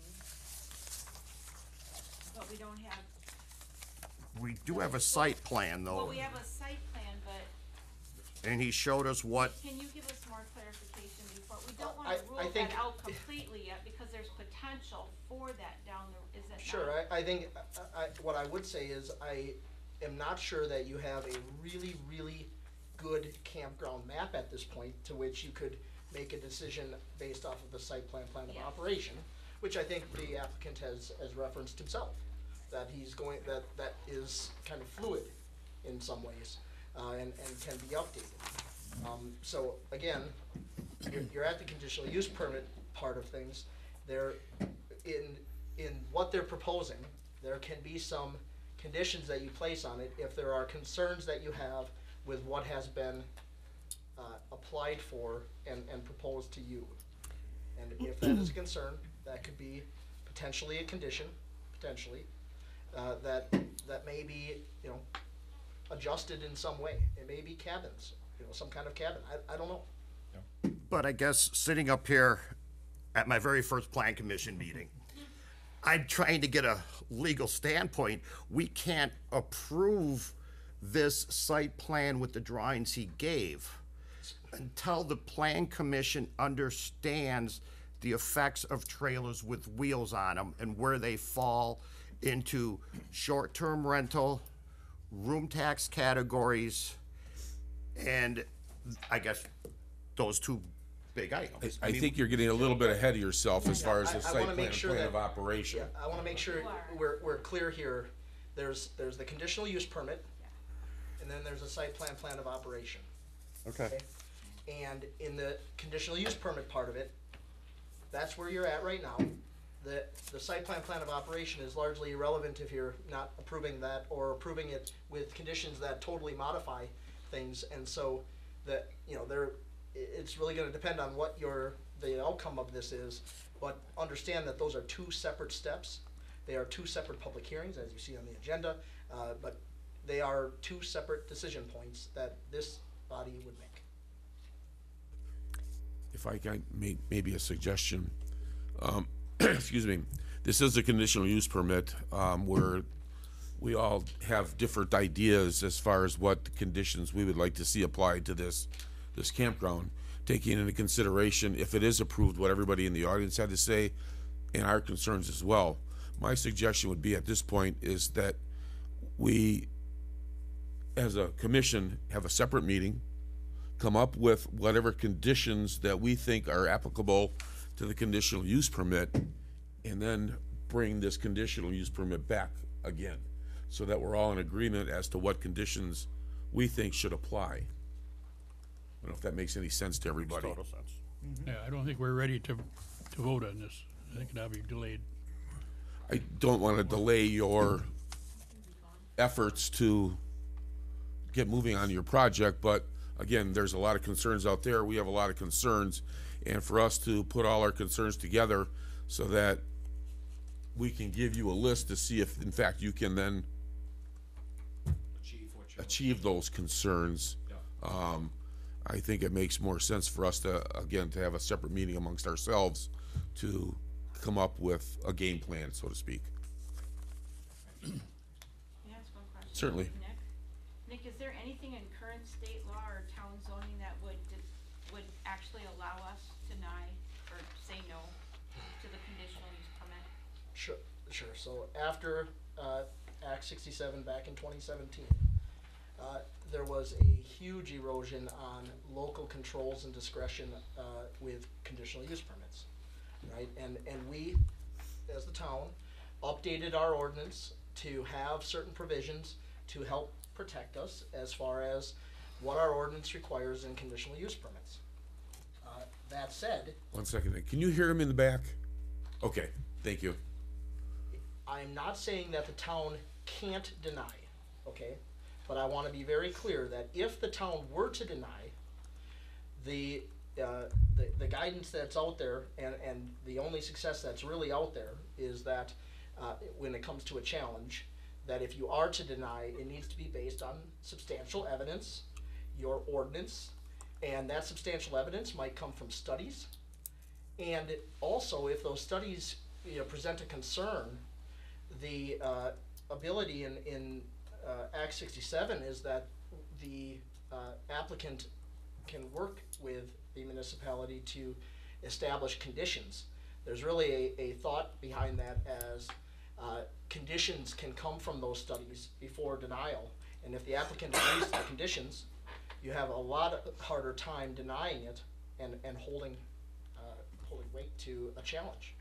Uh, but, so again, when you put, uh, you know, it to the point that you're saying, well, you know, can we deny it? It would have to be, uh, based on, on pretty sound evidence and, and not, you know, not just speculation. There was a lot of, uh, there was a lot of erosion on, uh, local control when Act sixty-seven got passed. And there continues to be, correct? Yeah, And more legislation is coming forward, correct? yes, So we can put conditions on this and we can delay this process likely gonna be conditions that we should think about, such as buffers, such as lighting, such as noise, things that are already on the books that we currently have in place, but things that we should seriously consider, like density, number of spots, buffers for trash, buffers for site. Mhm. Uh, just with a general note, and, and it's in our ordinance too, because again, we, we updated our ordinance to, to come in line with Act sixty-seven. When you're looking at conditions, this would be kind of a plug if you are going to, uh, get to that point, uh, and, and, and kind of consider those. Make sure that the conditions need to be, you know, reasonable, r- related to the ordinance, uh, to the extent practicable, measurable, right? So they need, they make sure that conditions are not just gray and, and open to, you know, a big argument over interpretation. Those, that doesn't help us or them. Uh, so, uh, again, you know, there's, you take the concerns that, that came up and, and where there can be maybe a condition, uh, associated with it, uh, you know, that can be put in place with your approval. That's why it's a conditional use. We're not talking about permitted, or we wouldn't have this conversation at all, we'd be right to site plan. We are at a conditional use, there can be conditions placed on that. To the comments that have been made, some of those conditions can relate to the type of structures that are being placed, the location of those structures, which I think we've heard, uh, references to in, in, uh, uh, Lori's comments and, and the applicant's comments. So I, I think the, the- you know, the point here is, is just be aware that the conditions are things that you can put on your approval if you decide to approve. Um, and, and those conditions are really important. I have been quiet way too long. go ahead. I know.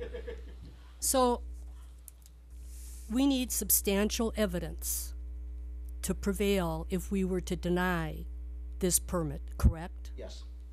Substantial evidence would mean that if it's the health, welfare, and well-being of the subdivision and all these people that are here that feel that this would harm them, we need substantial evidence and not, unfortunately, feelings that this is going to occur.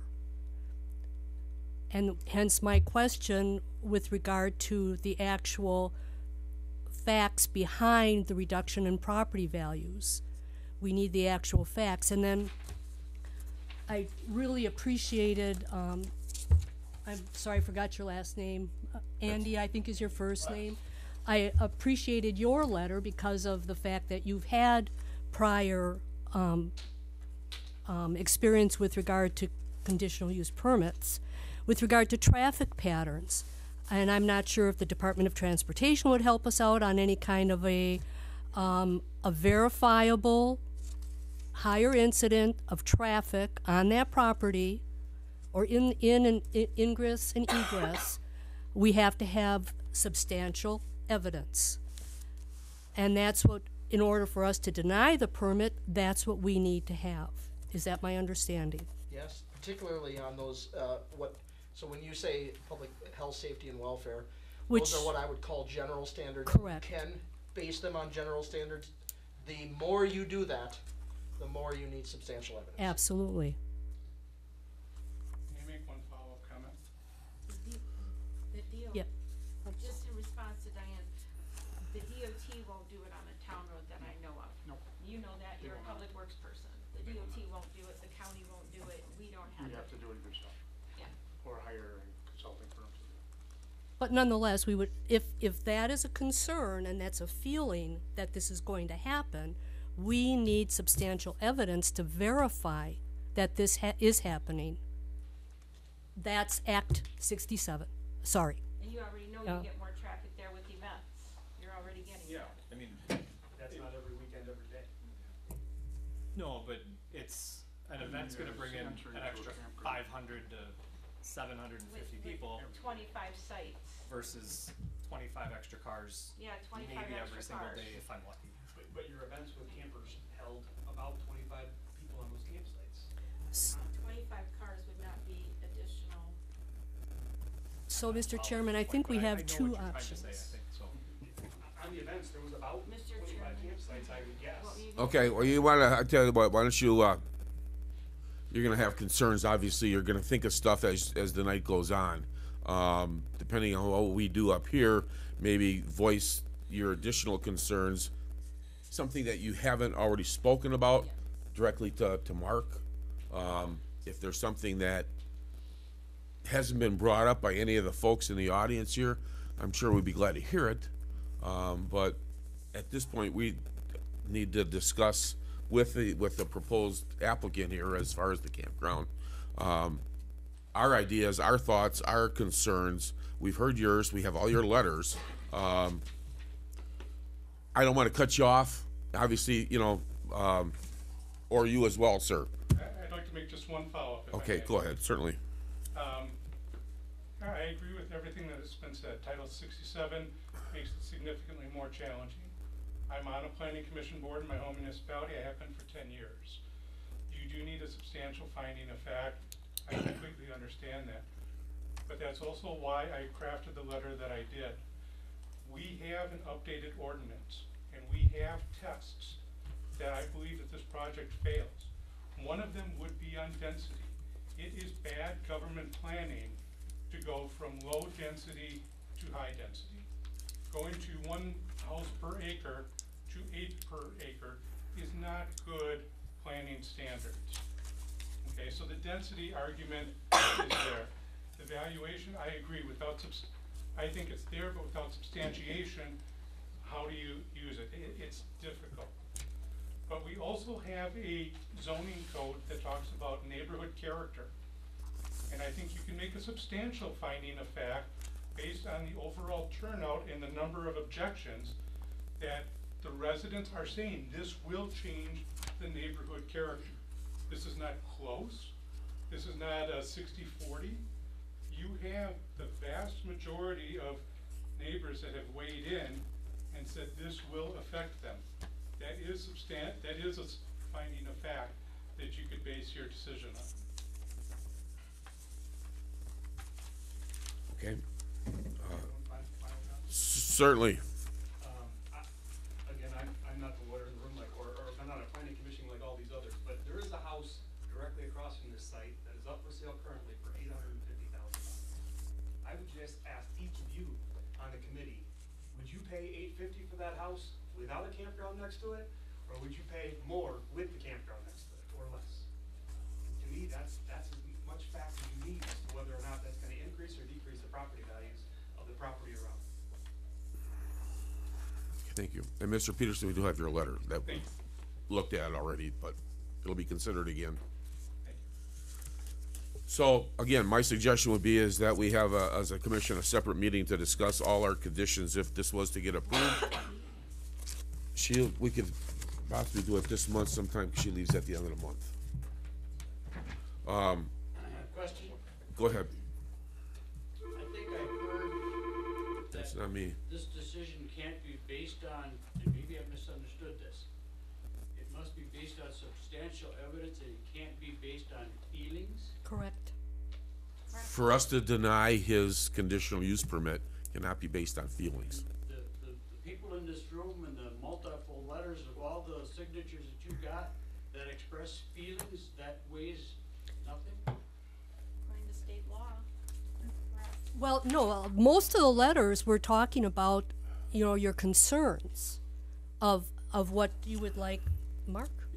Uh, to, to address if he were allowed this campsite.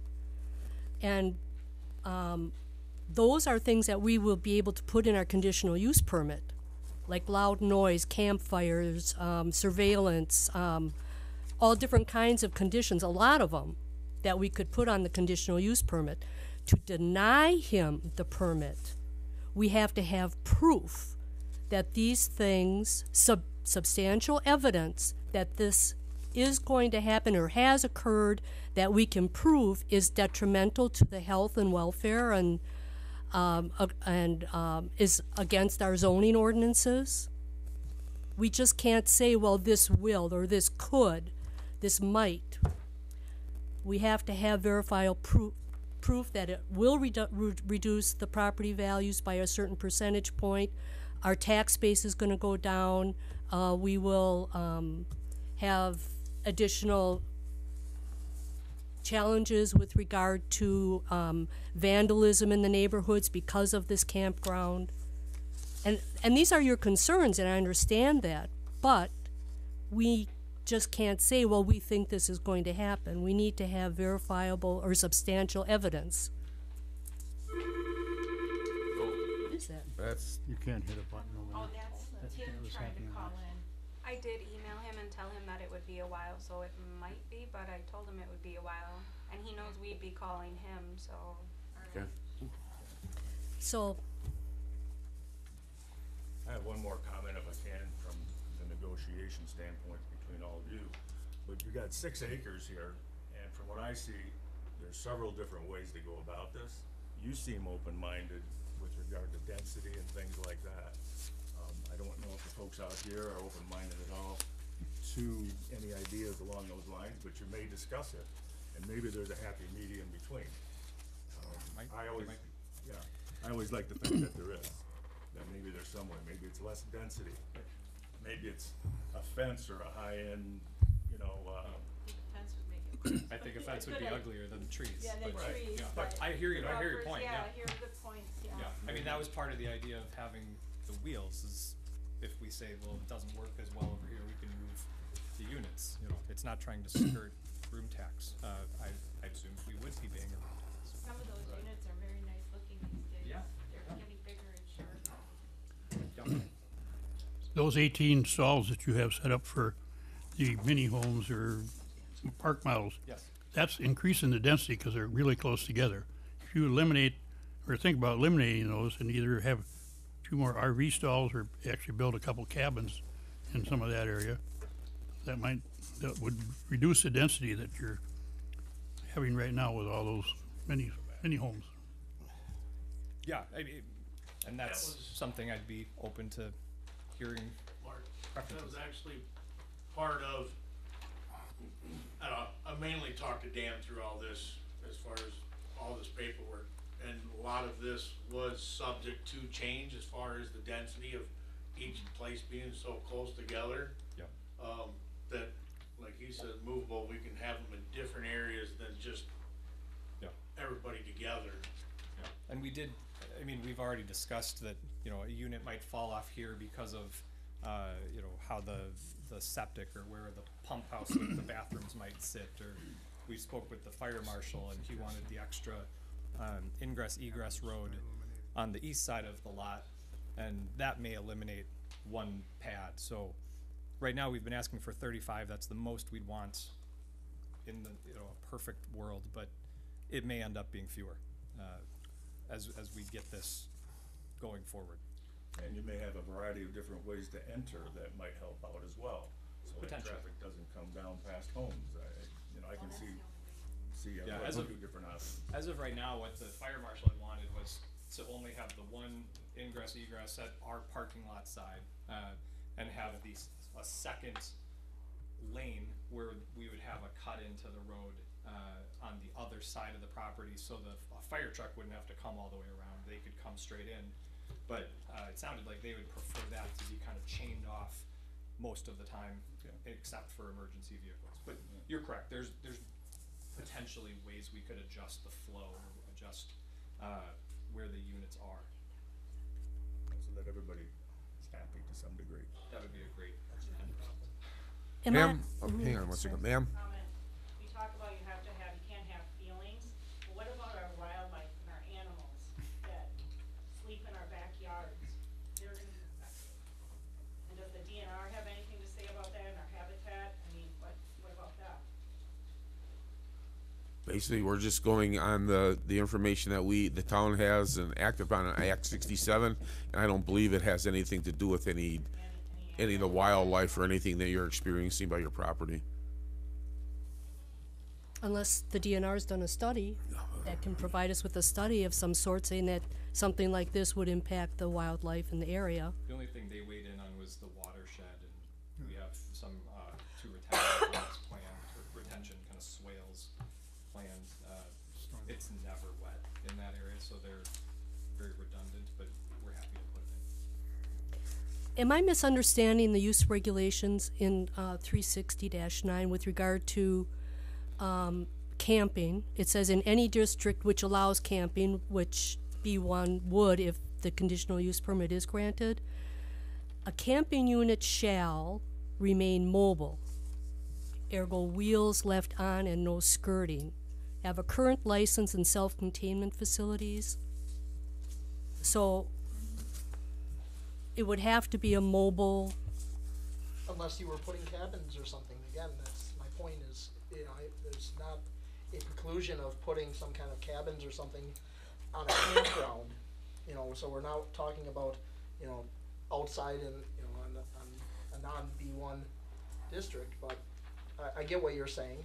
I'm, I'm saying that, you know, to, to, uh, previous comment, that there would be other options there if the concern is the, the mobility of those units. I, I think we're hearing the applicants say that the mobility was a, uh, uh, there was reason behind the mobility, right? And, and actually that was, uh, in, in their mind, it sounded like a, a, you know, kind of a concession to be able to, uh, to move them if, if needed. But my point is, if there was a cabin or, or some kind of way that you could, uh, propose the location, you know, of some of those uh, permanent and, and non-permanent spots that maybe have lesser impact on density, that would be an option.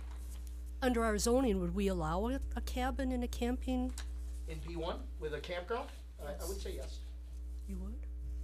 Okay. Permanent structure in a campground? Dan in zoning liked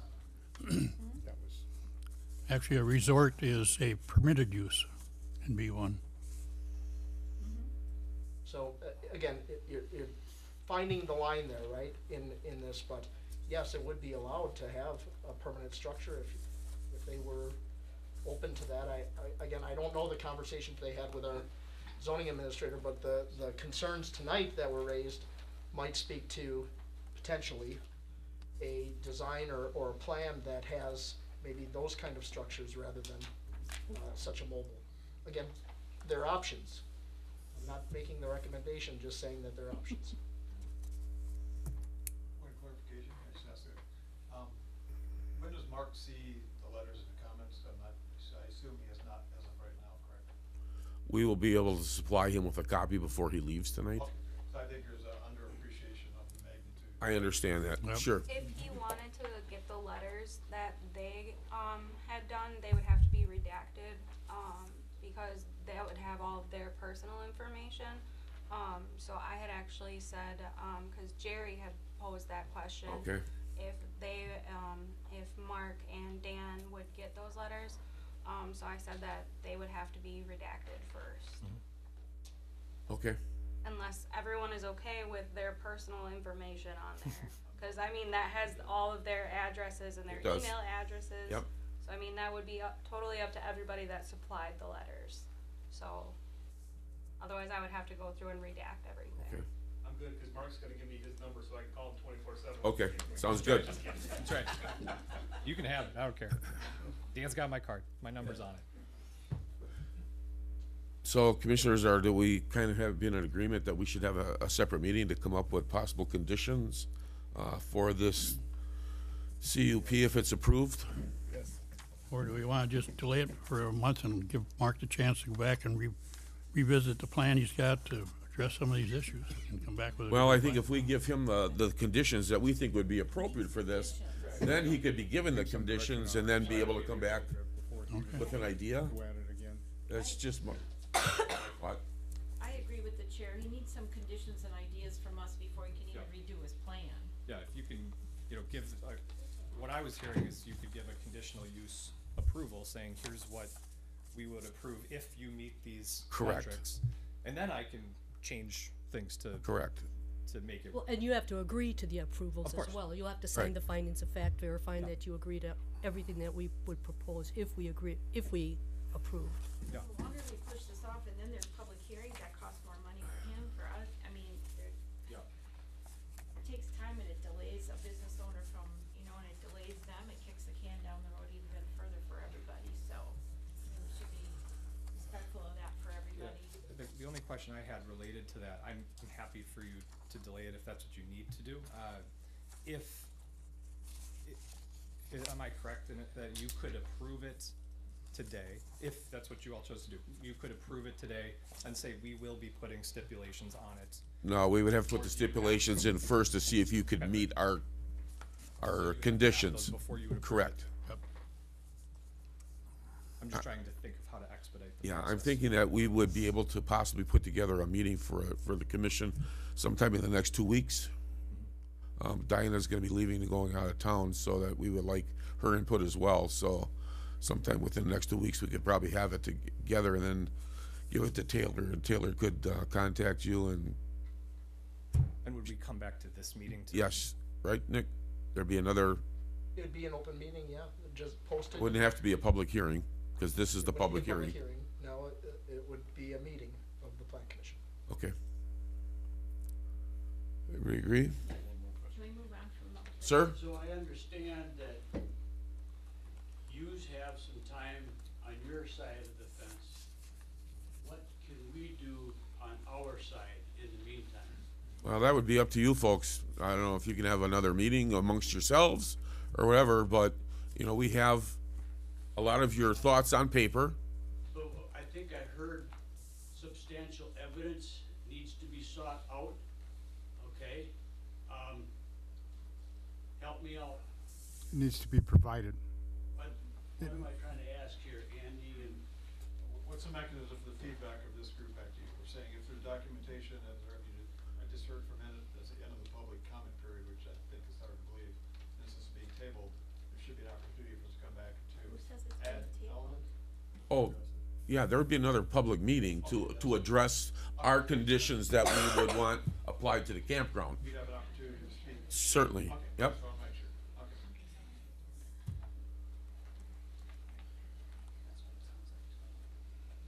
Okay, uh, anything else?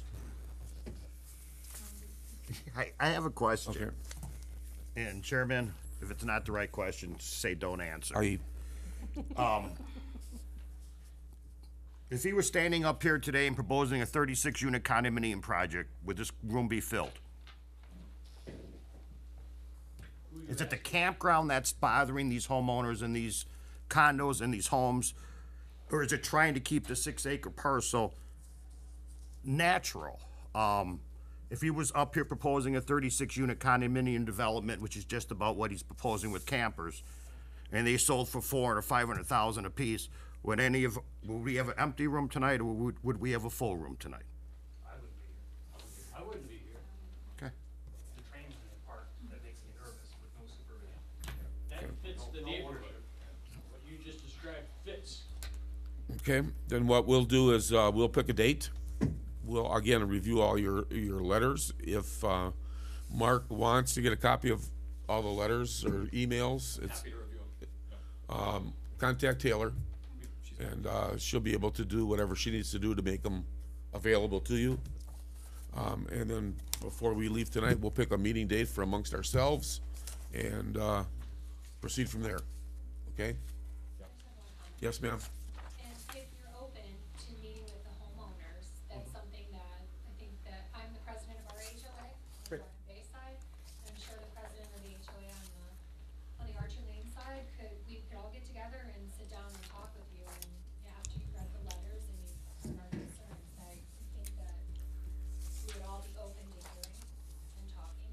Yeah, we'd be happy to, and, you know, not only, I mean, I think Dan has mentioned multiple times before to anybody that stops in, uh, we're happy to talk both about this, but- but but, I mean- also anything else, you know, because we can be loud and we do have traffic and, you know, it's a business, uh, Yeah, but just, you know, walking in and just sitting down and talking to you 100%, about your totally fine. business plans isn't necessarily something that, you know, I would have done, and I just found out about this two weeks ago. Yeah. So, you know what I mean? Yeah, Giving I hear us what you're little saying, bit more yeah. opportunity to kind of talk through some of this stuff, we might be resolve a on previous commissions that I've been on, that's actually been a requirement that we've asked sometimes, is for, uh, the owner to meet with the local neighborhood first and possibly revise the proposal for your consideration. Okay? Everybody's advantage. Exactly. Okay, um, once we have our meeting, come up with our, our conditions, we will, I'm assuming, may probably have this available for next month. I would think, maybe. I'm, I'm getting the, the stare. Well, Didn't you just say that we were gonna meet maybe in the next two weeks? Right, but I'm talking about having the meeting, the next planning commission meeting for March, having this available for reconsideration then.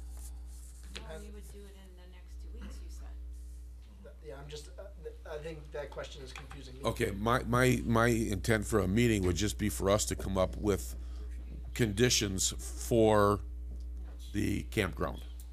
And, And and not then- to actually have action? Well, and then, once we determine what our conditions were, is then to bring those forward at the next planning commission meeting. Well, that, that's all of your decision to make. Okay. And this is just the public hearing section, so you'll be on it on the later point of the agenda and you can have the conversation. Okay. All right, anything else from the commissioners? I would say that if they get together and they come to something, they should Let us know what it is. let us know so that we're not having a private meeting and then presenting, and then we find out that they came to a different compromise that we should have considered. So something comes out of what, the community meeting, just call community, being the condos and the barn, everybody, if there's something that we should know, please get it to the zoning lady and that we can, Taylor. Taylor. Maybe within the next two weeks, does that make sense? Within Well, next two weeks? Sure. Sometime by Okay. the end of the month, maybe? Yep. I don't know how this works. Do we have access to Nick? No, you would have to go through Taylor. The, the, she's our support, support specialist for the zoning department, and then she would be able to contact Nick with whatever the issue would be, no? No, he's the town No, attorney. he's the town attorney. Right. What would you need? Are you talking about specific code or anything that the town has? What do you need? Well, I, I, I'm, you know, this is, some of these terms are kind of brand new to me, substantial evidence, we need to find, you know. No, and You would Taylor, need to retain a s your private attorney for that. yeah, I- If there's a question that is for clarification of Of our our code, code. then the zoning department would be the appropriate contact. Correct. right. If the zoning department has a question regarding that interpretation, then that usually She would comes go to me. Nick. That's, that's pretty common protocol, but if there's a question about, uh, other legal pieces that, that would be maybe beyond that, uh, they would be, uh, encouraged to, to retain But let's counsel or or also consultant. clarify though, just like she went through a lot of work this week with how many different, we can't have the entire residents of the entire condo association calling Taylor every day for legal advice. Correct? R- None of this would be legal advice. It would be like an Right. interpretation question on our code. So if they could maybe send it to one person, It should if be- there's questions, something like that. But again, just questions on our code would be the only thing that Taylor would have to respond to, and if she didn't have the answer, then go to Nick. So if you had questions about other things, sir, you probably have to, I don't know if your associations have an attorney or whatever, uh, I had a phone call placed to Taylor, I never got a return call. Uh, I was out all last week, Tuesday through Friday, with influenza A. Um, I've done my best to reply to everything that I did with emails. I did print out all the emails and letters that I did receive. Um, I respect that. okay? All right, um, we'll get back to you, Yeah. okay? We're moving on to the next point. or should Well, we can't, we can't really do your site plan and plan of operation till we have a conditional use permit issued, if that's the case, so, okay? Thank you. So, items B and C would then be, is the right, tabled until the next meeting, or, correct me, Dick? No, you had, uh, the seven B, you had the public hearing. Okay, Uh, if you're not going to have the public hearing on C because of w- all the reasons you discussed, then you would, uh, move to D. E, okay. And thank you, everyone, for coming in. It's uh, greatly appreciated that we have that kind of people in the community that are concerned about things. We really appreciate that. I know probably the rest of you are gonna wanna leave because, uh, feel free, you're not gonna interrupt us. Now we're going into short-term rentals, and that's really, I, I assume we have assurance that items twelve and thirteen will be tabled? correct. Um, don't, They will be, they will be acted upon as far as number, number, uh, twelve being moved to a few, to the next agenda, and same with thirteen. Thank you. You're welcome.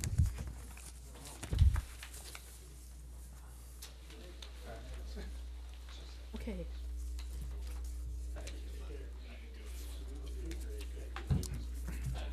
All right. Item seven D.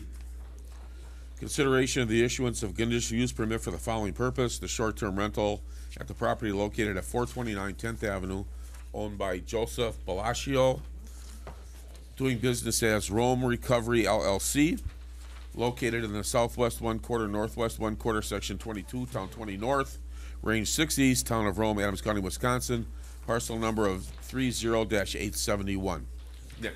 Uh, Joseph Delosio, DBA, uh, or doing business as Rome Dic- Recovery LLC, has submitted a short-term rental license application and conditional use permit uh, for the property located at four twenty-nine Tenth Avenue, requesting use for the 2023-2024 season that ends June thirtieth, twenty twenty-four. Letters were sent to six property owners within two hundred feet of the affected property. The applicant has completed all license requirements, including property manager, within 30 25 miles, uh, on record with the town. The plan commission places conditions on conditional use permits issued for short-term rentals that will set maximum occupancy and maximum number of vehicles allowed on the property based on the standards found in Town Code Chapter two thirty-four sixty-one. Staff recommends a maximum occupancy of four, maximum vehicles of two, to be parked on hard surfaces, not on the lawn grass at the property. Uh, please also note on this one that the fire department inspection report, uh, included, uh, staff, uh, further recommends a sign off by the applicant, an associated acknowledgement letter from the insurance provider that they are aware of low maintenance roads servicing the lot and possible access effects or delays on emergency services.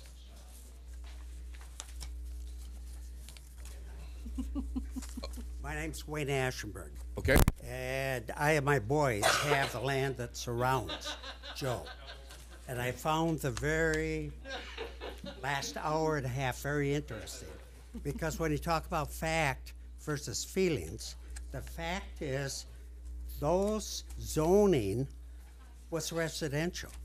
I looked at a house down in that area considered building. And I have strong feelings about the owners of that property. Why don't we just stick to what your topic is here as far as your short-term Okay, rental? I have okay? the same concern Okay. about my property. It's Okay. not a residential area. When I bought that property, it was for the woods, for the animals, the outdoors. When I gave it to my sons, when my wife passed away, same thing. Let's maintain it and continue to have a good time with our entire hunting group and my grandchildren. So all of a sudden, zoning is going to change. No, the facts are the zoning was there.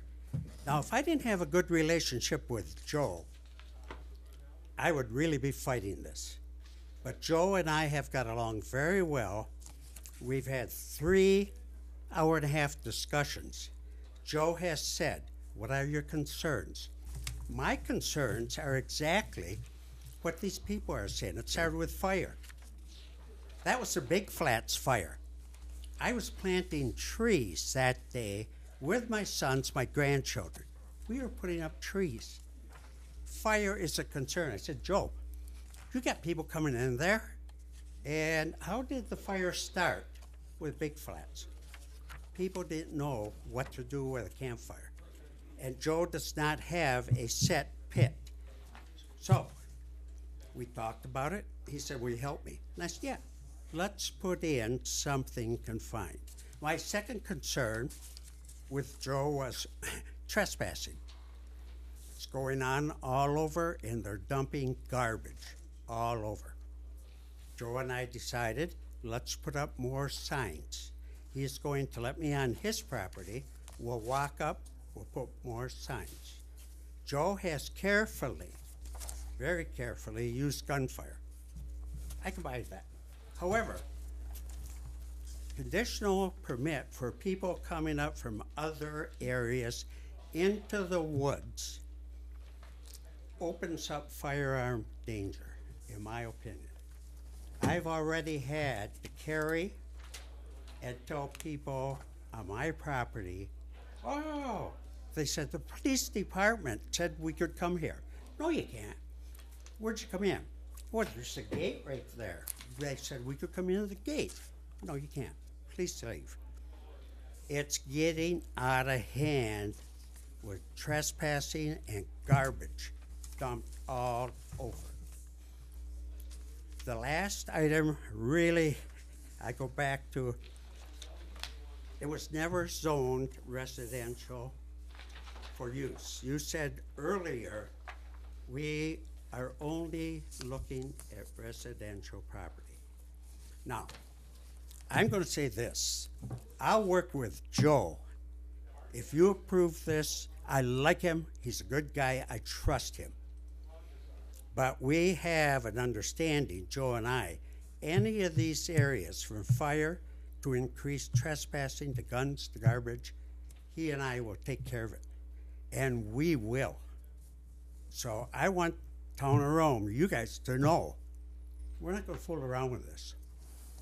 You know, you gotta have conditions. I heard, well, you gotta prove it. What do you want? Somebody shot? Do you want garbage on your front steps? On your land? You want trespassers coming into your house? I don't. And I don't think you do either. So, that's my comments. I, I feel very bad for the people here. They bought, they have property, built nice houses, paying high taxes. Well, yeah, but we might change it. I feel for the young man with the lure. He's a businessman. We need more of them in our country today. Okay, um, are you, um, did you put your name or an address on the paper up there? Yes, I did. Okay, thank you so much. Yep. Is Joe here? Yes. My name is Joseph Flocchio. Okay. I am the person applying for the conditional use permit. Okay. At four twenty-nine South Tenth Avenue. My main residence is three seventy Hartford Court, which is approximately a mile and a half long walk to the subject property. Okay. So I am super proud, I'm super pumped, excited to be here today, especially coming after that long discussion. Hope not to make mine a little bit simpler, but yes, Wayne has been an awesome influence in getting neighborhood uh, neighbors involved. He brought up, actually, you didn't throw the garbage at me before, Wayne, but these are items of interest fire, gun, trespassing, and the trash that I want to address properly. Is tu casa. He's invited to my house um, on my property, and I think I've really am like pumped because this is a super awesome rural residence. That's the main thing. This is a rural residence. We have golf courses, we have lake houses, we have houses in subdivisions. Not many rural residents that we have on 40 gorgeous acres surrounded by some other awesome property. Rural Wisconsin is beautiful. Why? Let's show it. And the you- topper of it is it's also handicap accessible. Okay. Um, what, what do you wanna tell us about the property or your plans for the rental if it's approved, uh? So you know what? My main goal of who I want to appeal to would be the handicapped people that don't have a rural residence. Lake houses, most of these places do not have a handicap ramp. They don't have a handicap shower.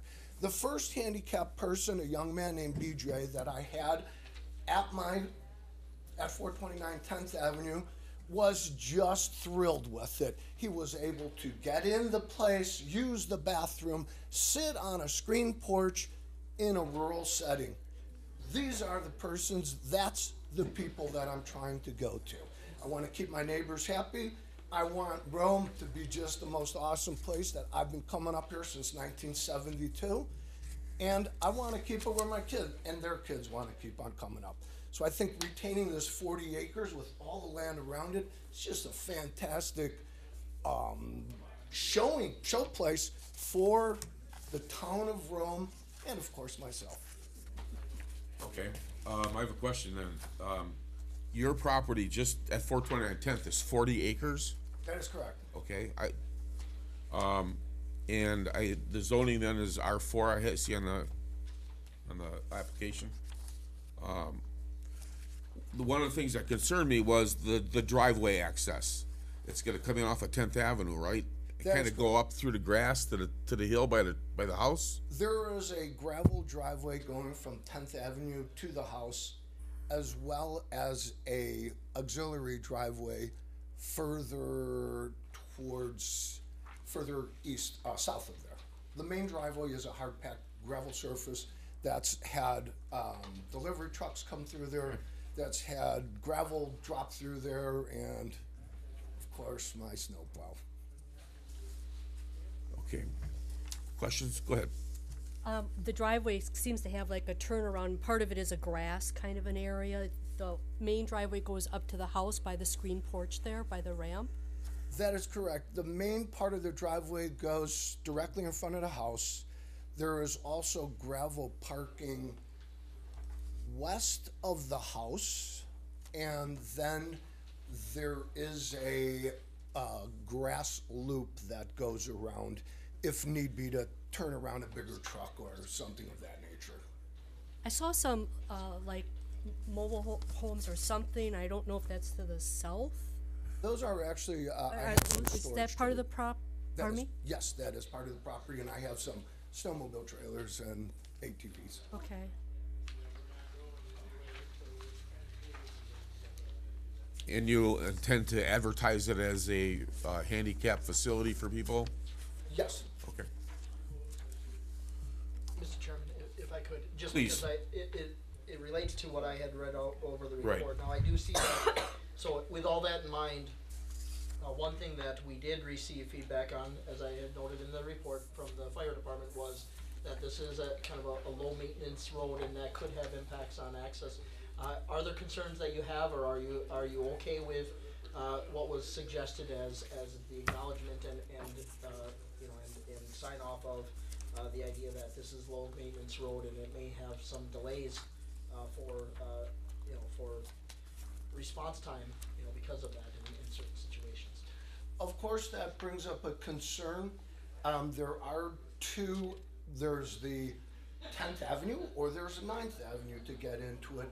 With the additional driveway, be it not perfected, but it does have another option that, so, um, of course, my main goal is to advertise it as a rural residence.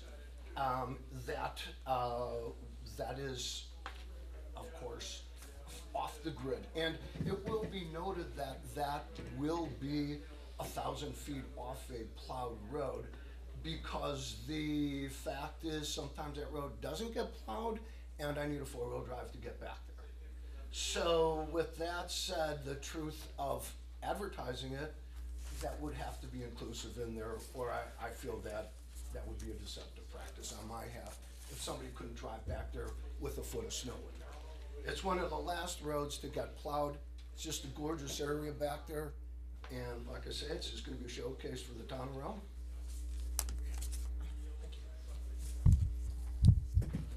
You had just mentioned Ninth Avenue. Uh, that, that isn't anywhere near your property. So there is You, like, we have a county forest directly to the east of you. So Ninth Avenue, Tenth Avenue goes south off of Apache. Right. Then it loops east and then Ninth Avenue. Correct. Or Ninth Drive. The low maintenance roads you're Another talking low about. maintenance road, correct. Okay, now I understand. Actually, I I would like to add it, I've had the property for quite a few years, um, with all the, the intentions of at least letting it be used by handicapped people. Um, that's why it was built in the fashion it was. I haven't really had the time to manage and monitor it. I'm recently retired, and now is the time that I will be able to not only manage it, but monitor it. The path around the lot is two and a half miles, that's my walking path. My residence, once again, is less than a mile and a half from there, so So you would be the property manager then for the rental property? that is correct, sir. Okay. And you live up here year long, year round? I live up here, I'm not gonna say year-long, but I live up here ninety percent of the time. And I'm going on vacation next week, I won't be here, but. You would have to be here though, anytime the property would be rented, correct? Yes, sir, Yeah. absolutely. So you won't be renting it out when you're d- gone? I, I'm, I'm sixty-three years old. I don't need to build another ski hill or, or, uh, trailer park. I'm happy with my forty acres. I'm happy what I have, I'm happy with my life in Rome, and I'm not gonna turn it into a development. It's, it is a rural residence. That's the way I'd like to keep it. I will be here as much as I can, and I have been here quite a bit. But when you're, what I'm asked was if you're not here, like if you're on vacation or Not you're renting. gone, you will not be renting the property out? Absolutely not. I can't monitor it. That's my, that's the, my crown jewel. And there's no way that I'm gonna cut it loose. If I wanted to do that, I would have gotten cottage keepers or another place to do it six years ago. Sounds good. Is there anybody else here that would like to speak either in, uh, in favor or against this conditional use permit? Okay, thank you, sir. Thank you. Item E, consideration of the issuance of a conditional use permit for the following purpose. The short-term rental at the property located at one three one four Bogey Trail, owned by Bogey Trail LLC, also described as Lot Eight of Bogey Addition to Lake Arrowhead, located in the southeast one quarter, northeast one quarter, section nineteen, town twenty north, range six east, town of Rome, Adams County, Wisconsin, parcel number of three, z- three zero dash two nine zero nine dash five zero seven. Nick? I'm, I'm gonna give you the abridged, uh, which I'm sure you'll all appreciate, because we're gonna hear these a few times. Uh, Bogey Trail LLC has submitted a short-term rental license application and conditional use permit for their property located at thirteen fourteen Bogey Trail, requesting use for 2023-2024 season that ends June thirtieth, twenty twenty-four. Letters were sent to ten property owners within two hundred feet of the affected property. Staff recommends a maximum occupancy of eleven, maximum vehicles of five to be parked on hard surfaces, not on long grass at the property. And uh, the applicant has completed all license requirements, including a property manager within twenty-five miles and on record with the town. Okay. Um, and you will see in your packet that, um, we did receive an email, um, from the property owner that their property manager will be representing them here tonight. And that's this young lady. Yep. I think you've heard my spiel a couple times. We I have. don't really have much to say, so just if you have questions for me. Any commissioner questions on this particular property? Anybody in the audience have anything that they wanna say either for or against the property, of the conditional use permit? And we're pretty sure we can park five vehicles there, huh? We're, yeah, It's big. it looks just like a circle Yep. around to me. Right. It's Okay. pretty oh, wide. though. Yeah, Okay. thank you.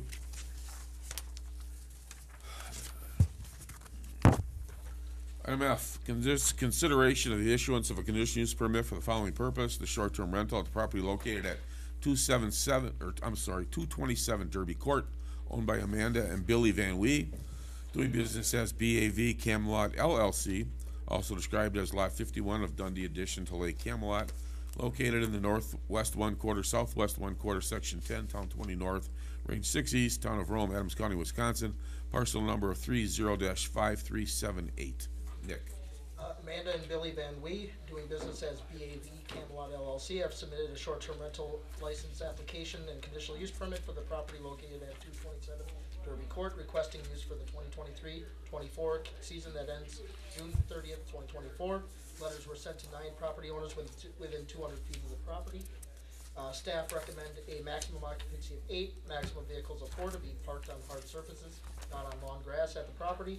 And the applicant has completed all license requirements, including a property manager, within twenty-five miles of, uh, the town and on record with the town. Good evening. How are we doing? Great. Um, are you Mr. Van Wee? I am. What, what do you wanna tell us about what you have planned for the property? Yeah, uh, Stephanie is also, she's the property manager on Okay. it, so you guys are familiar with her. Um, we've lived there a couple years, we ended up buying the house next door. Thought it'd be a good opportunity to put this in the rental pool, um, and living next door, we can kinda keep an eye on things. Okay. Um, Nick, I noticed on the front of the application that there was, uh, the total area of the property was point zero zero. Um, I don't know if that makes a, a difference on the application. That can be corrected and, Okay. and placed on the file. I got you, okay. Um, and do we just, ha- do we have to say indefinite as far as the request for renewal, or can can we just go with the phrase that's on the It's in the- application? You I can think the ask findings are applicant, Finding uh, of- And, and, yeah, you can, the findings of fact, I think, spell out the term and, and you can adjust it if you want, otherwise you can adopt the findings of fact as well. Okay, it's I in- understand. It says indefinite in the findings. Okay. Commissioners, any questions for this, uh, gentleman? None. Okay, thank you, sir. And then in the spirit of Sand Valley, the solution for the campground would be another eighteen holes called Mama Bears. I was just gonna throw that out there, you know. Okay, uh, stick around, you know, you have to sign some documents when we're done here. Okay. Item G, consideration of the issuance of a conditional use permit for the following purpose. A short-term rental at the property located at one four seven seven Rapids Trail, owned by Shanna and Benjamin Olson, also described as Lot One of CSM six zero five zero, also known as Lots Eight and Nine of Red Cloud Addition to Lake Arrowhead, located in the northwest one quarter, southwest one quarter, section twelve twenty, town twenty north, range five east, town of Rome, Adams County, Wisconsin, parcel number of three zero dash four zero seven four dash one zero. Nick? Shannon and Benjamin Olson have submitted a short-term rental license application and conditional use permit for the property located at fourteen seventy-seven Rapids Trail, requesting use for the 2023-24 season that ends June thirtieth, twenty twenty-four. Letters were sent to twelve property owners within two hundred feet of the affected property. Staff recommend a maximum occupancy of sixteen, maximum vehicles of eight, to be parked on hard surfaces not on long grass of the property. And the applicant has completed all license requirements, including the property manager within twenty-five miles on record with the town. Okay. Are you Shanna? Yep, Shauna, Shauna? actually. Um, anything you wanna tell us about what your plans are? Well, uh, my husband and I come from the design and construction background, so we'll be primarily marketing towards the design community. Um, folks who'll come up, use Sand Valley, bring um, money to the area, um, and be good, you know, residents and, and support the community. And obviously, there's a property manager within the twenty-five mile radius? Yes, sir. Okay, Seventeen miles, okay, excellent. just snuck in. Uh, commissioners, any questions for this young lady? This is how many, how many, uh, sixteen? Sixteen. Yes, although I 16? believe we're probably going to cap it at fourteen. 14. And then, um, it has come to my attention personally from people that have properties that have more than four or eight people. When you get to 10, 12, 14, there seem to be a few more issues with regard to outdoor parties and are you going to have specific, Oh, yeah, you should Okay. see all the list of, uh, regulations we put on it for ourselves and for any renters. okay, We likewise have concerns about that as well. So, uh, for example, we have exterior security cameras just to make sure that things don't get out of hand. Anything else? Nope. Any other questions, commissioners? Thank you, ma'am. Thank you. Seven H, consideration of the issuance of a conditional use permit for the following purpose. The short-term rental at the property located at one zero nine nine South Archers Way, owned by Brian and Kimberly Jackson, also described as Lot Five of Deer Lodge Assessor's Plot to Lake Sherwood, located in the northeast one quarter, southwest one quarter, section sixteen, town twenty north, range six east, town of Rome, Adams County, Wisconsin, with a parcel number of zero three zero dash one nine seven one. Nick? Brian and Kimberly Jackson have submitted a short-term rental license application and conditional use permit for the property located at ten ninety-nine South Archers Way, requesting use for the 2023-24 season that ends June thirtieth, twenty twenty-four. Letters were sent to eleven property owners within two hundred feet of the affected property.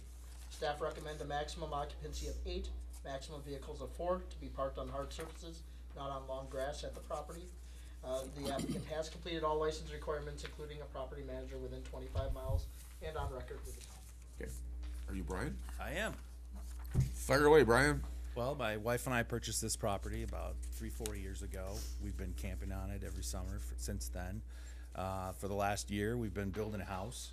We plan to spend as much time out here as we can, and when we're not here, uh, we're gonna rent it out. Okay. Is there anybody in the audience that wants to speak for or against this conditional use permit? Okay, commissioners, any questions on this one? No. No. Thank you, Brian. Zip- oh, Oh, I'm sorry. wait. You, di- you didn't speak up fast enough. Oh. Okay. So this looks, this looks like it's a newer property, brand new? Yes, brand new house. And all construction is completed? Yep. Okay, A little bit of landscaping, but that's it. okay. It's, when I had drove, drove past, it looked like there were construction vehicles in the driveway, and I was just wondering if they were touch-up carpenters Well, it might have been or- my neighbor's house, cause there is a new house going a couple doors down from me, Well, so they it might have was been. ten ninety-nine. Yep, that's the one. Very pretty. Okay, Good. yep. Okay.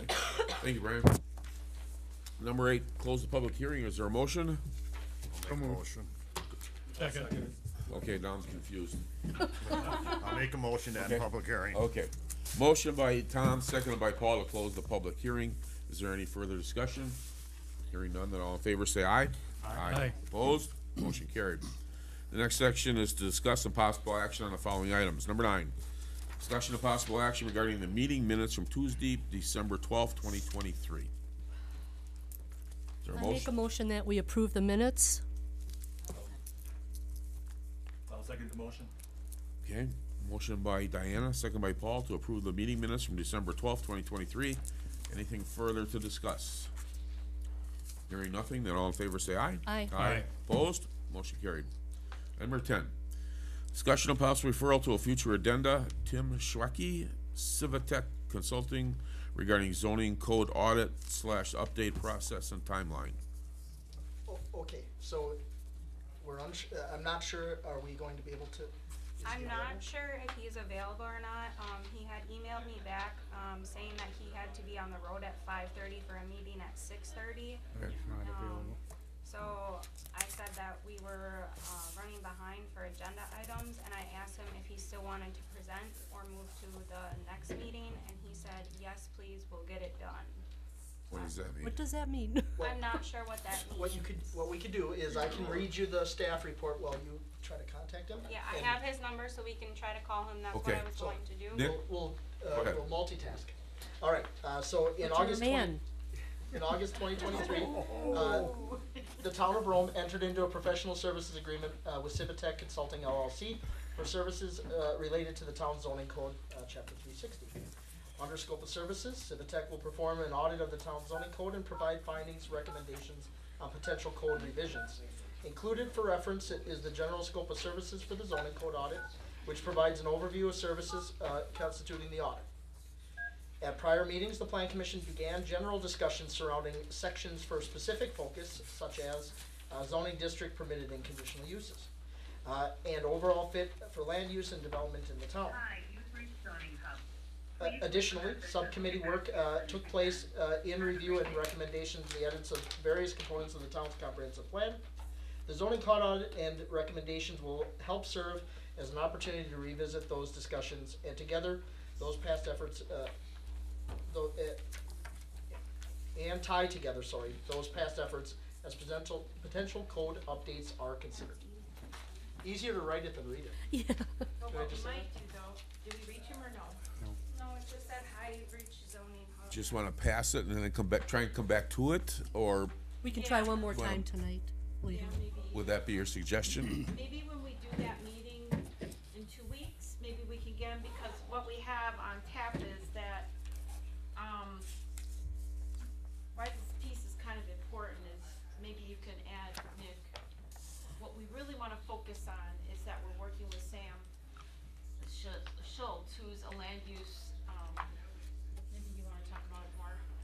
Now I'm getting a little bit of a Sure. frog in my throat, but Sam is also helping us in the Rome Town Center. We're looking at land, especially where we have housing. We're getting a lot of interest in workforce housing, um, multifamily, uh, fifty-five plus. And it's important that we really focus, if we're gonna look at the zoning code audit, that we start with the, the housing in the Rome Town Center and what we're doing over there. So if you wanna expand on that. Thank you. Uh, yeah, so there, a- as was stated, there's a couple moving parts here. Uh, so we have a couple consultants that, uh, are working on just various aspects of what would be the zoning code, right? So, uh, Mr. Schultz is, is looking at the Rome Town Center. Certainly, there's components of that in, uh, well, large components of that in, uh, chapter three sixty. There's also the design plan and other, uh, you know, documents that are at play. Uh, so, uh, I think the opportunity there is there to align some of that work with the work that, that Tim's going to do. I think that's going to be some of the kind of presentation and, and pieces to talk through, because we are, currently working, I believe, with one consultant to, in the very near future to have him, uh, provide us, uh, some recommendations for the Rome Town Center. The opportunity is there to kind of align the audit with that and put priority there, uh, perhaps, you know, to, to make sure it coincides with that. as well as commercial A. We were also talking about the Gateway District lining up right after that, Mhm. as well as permitted and Conditional uses. conditional uses in that area and then expanding from there. So those are the pieces of the zoning code we'd really like to look at auditing first. And then zoning hub is coming online real soon, so that's where we were hoping to start the focus first. I have a question with regard to the letter that we re- that was included in our packet. Um, I wanna make sure I have the correct second page, because the date on the second page is different than the date on the first page. Oh, interesting. But it is the same. It, it is. I yeah. believe you have the right second. Okay, I page. didn't want, I wanted to make sure I had the right number, the cost and everything else, that it You didn't do. go up or, Y- Yeah, you it do. is exactly the same? Oh, yeah, this Okay. was, this was agreed to last, last year and passed passed by the board. Yep. It was all agreed to and signed and everything was passed by the board last year For the audit. for the audit. So what are we actually being asked to approve tonight? Anything? You're not Nothing, you're asking, not nope, being So absolutely we're nothing. just, this is uh, an information only Yep, that we're and gonna so- go ahead with the audit. So if we don't, if we, if, if Tim can't join us tonight, uh, when we have him at, at a future meeting, uh, just to give it kind of an overview of what that would look like. It'll really be a presentation, conversation with Tim on, on kind of how he, you know, what he's gonna be looking for through the process, how he proceeds through the process, just so we're up to speed on, on kind of how that's going to go. Uh, and then we can, uh, maybe express some, or identify some priority areas that we might have. Uh, and, and he may ask for that and give us a timeline. So really just a general kind of kickoff presentation is what we intended here and, and, uh, by all means, we can have him back at a future meeting. We'll make sure you have the right page, cause yeah, this was, this was approved by the budget, by the board last year and it's in the budget for this year to proceed. Then I would suggest if we can't get a hold of him right now, that we continue with the rest of the agenda, so these folks don't have to stick around for so long, and we can follow up at the end of the meeting with another phone call or whatever. One point I would like to perhaps make is if you do, s- do this next month at the meeting, Zoom you in. and we have to narrow down like what our priorities would be as a commission, that the conditional use permits on the zoning be looked at real carefully, especially one in particular, which is the campground issue on conditional use, um, and other, others. So, you know, next month perhaps, if, if it's gonna go that far next month, but that would be one of my concerns. All right, then item number eleven, discussion and possible recommendation to the town board, consideration of review, revised site plan, plan of operation for Wisconsin Trap Shooting Association to construct a storage building on the property located at one three one two Akron Drive, also described as government lot fourteen, section six, town twenty north, range six east, town of Roman, County, Wisconsin, parcel number of three zero dash six zero eight. Go Just ahead. befo- Before a motion, uh, there were a couple things that were discussed that I would just maybe reiterate before, uh, for consideration before you make your motion. Recall again that there's a findings of fact in your packet. Uh, so I think there were, uh, two things that were brought up during the public hearing. One was screening of waste containers. Uh, the second one was, uh, that it, it would be actually my recommendation that we put, include a condition in there that when the Hall of Fame building would be ready for permit, uh, that the design, uh, and layout, uh, comes back to the planning commission for approval. Okay. Just to make it very, it- because there are some, uh, there's some language, substantial modification to site plan, plan of operation that triggers it needing to come back. Since this is in there technically as a, as kind of a drawn out piece, I think we'd wanna be very clear that we expect that back here to, just to review what that design and plan is, uh, for, for signing off on. So Okay. I'd recommend that you include that as your, as a condition. That fell under her performance,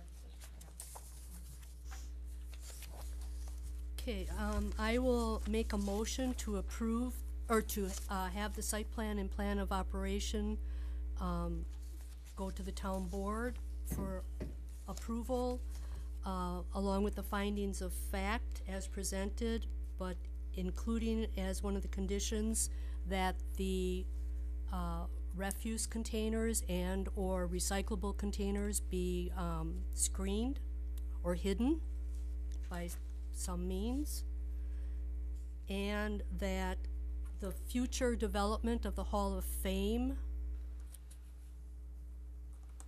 and proposal come back to the Plan Commission for approval. Okay. I'll second the motion. Okay.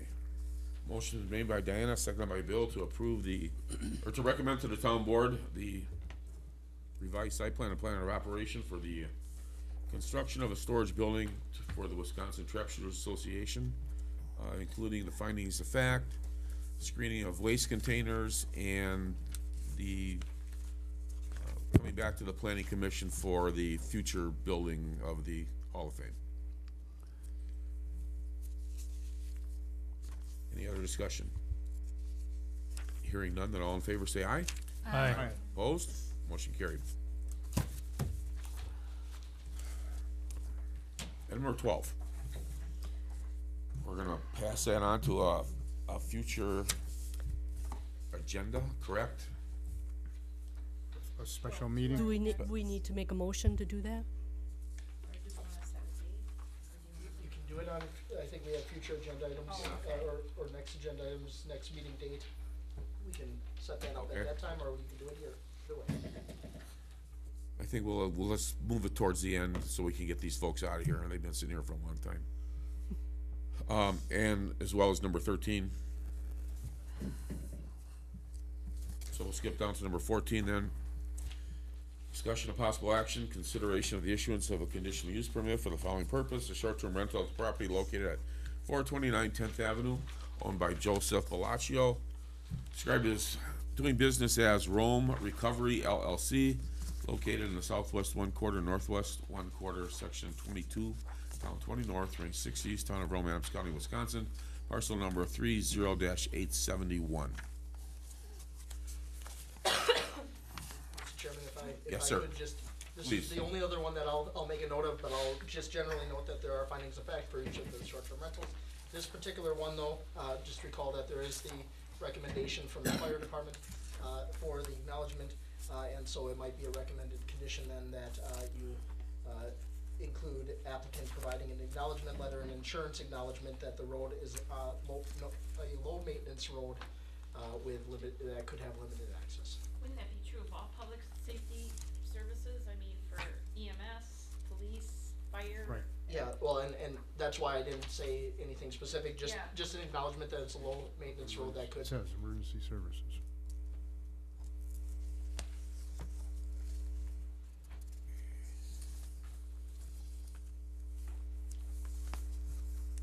Um,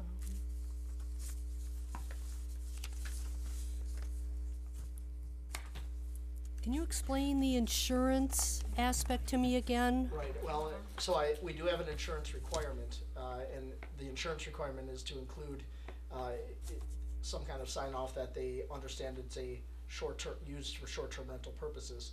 Uh, the included piece there is that there may be some, uh, there may be some consideration that insurance would give if there's, if there's a limitation or, or a effect or impact on uh, emergency services. That was, that's the only place that came from. It doesn't need to be included, again, it's, it's your decision to make, but those would be just two things that, that were noted. Acknowledgement letter would be the other thing.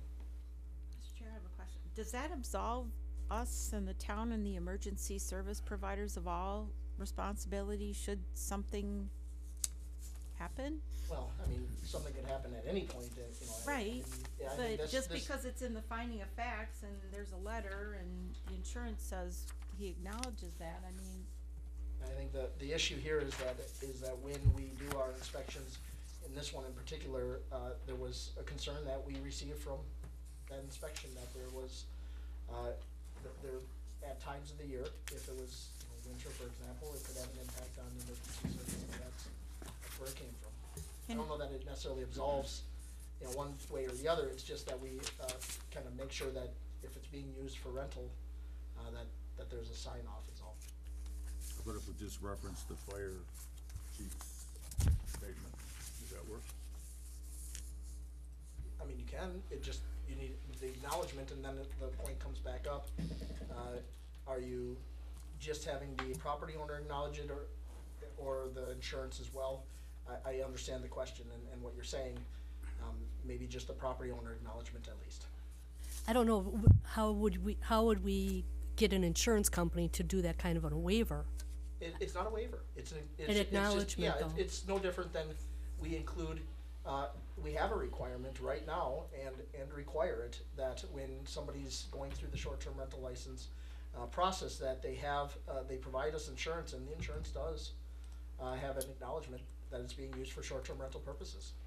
But a further acknowledgement that this one might not be serviced. It, it's not that it's not gonna be. Well, I serviced, it mean, might have that an the impact. emergency Could be delayed vehicles Delayed or lack would be of- delayed.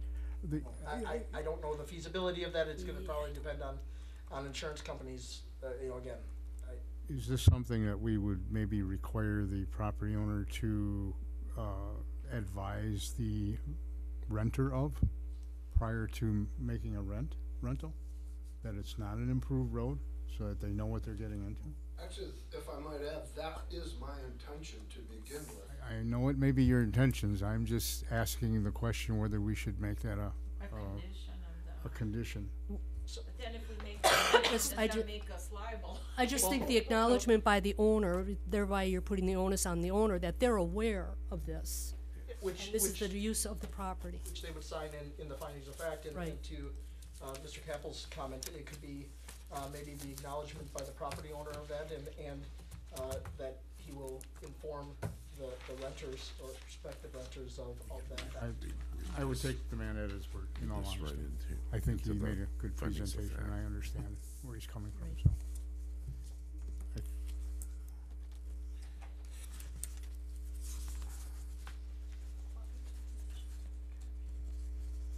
So I guess I will make a motion that we move the item forward with the findings of fact and include an additional condition noted that, uh, the property, let's see, what do we wanna say here?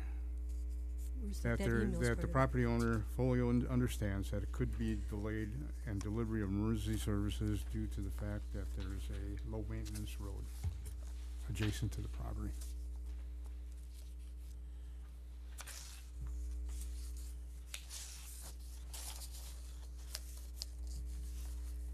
Is there a second?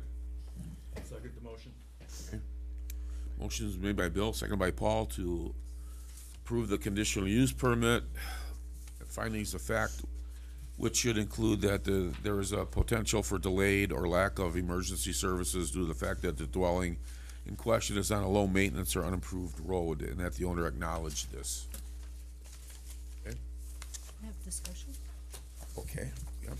Um, I would also like to, um, amend the findings of fact, and I'm gonna do this on all of them. Uh, seven C, the applicant has met and cross out or is in the process of complying with.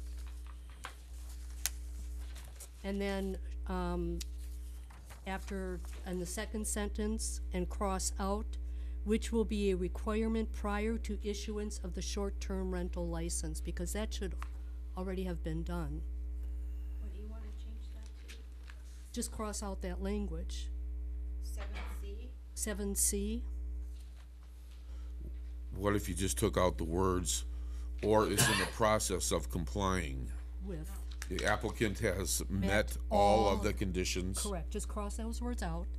And then cross out the last part of that sentence, which will be a requirement prior to issuance of the short-term rental license.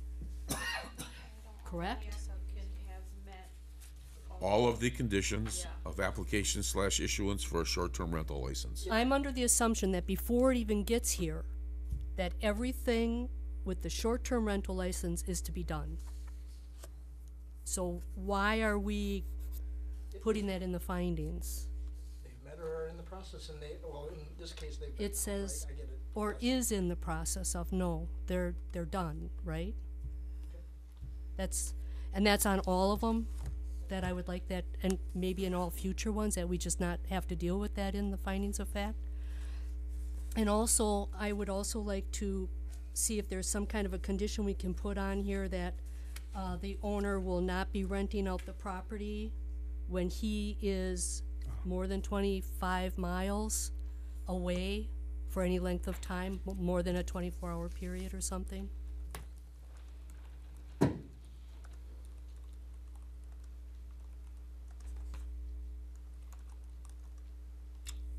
Anyone else with, uh, discussion? So who made, I'll amend the motion to accept those. Okay. Paul, do you, uh, uh, accept the amended motion? Yes. Okay. So the motion is made by Bill and Paul and amended to include the fact that the, oh boy. Um, It is. Um, Just go what he said. That works sometimes. we have the wording for the, uh, the driveway issue, is that correct, Nick? Yes. And that the other condition be that the property owner does not rent the property out if he's more than twenty-five miles away for an extended period of time. unless he has a property manager in place, Very good. okay? With- And, and we'll make the changes and, and initial it, and then going forward, we'll update. it. Yes. Perfect. Okay, Done and done. then, all in favor, unless there's further discussion, Aye. Aye. Aye. opposed? Motion carried. Okay, where are we at here? We are on Fifteen. thirteen, fourteen bogey.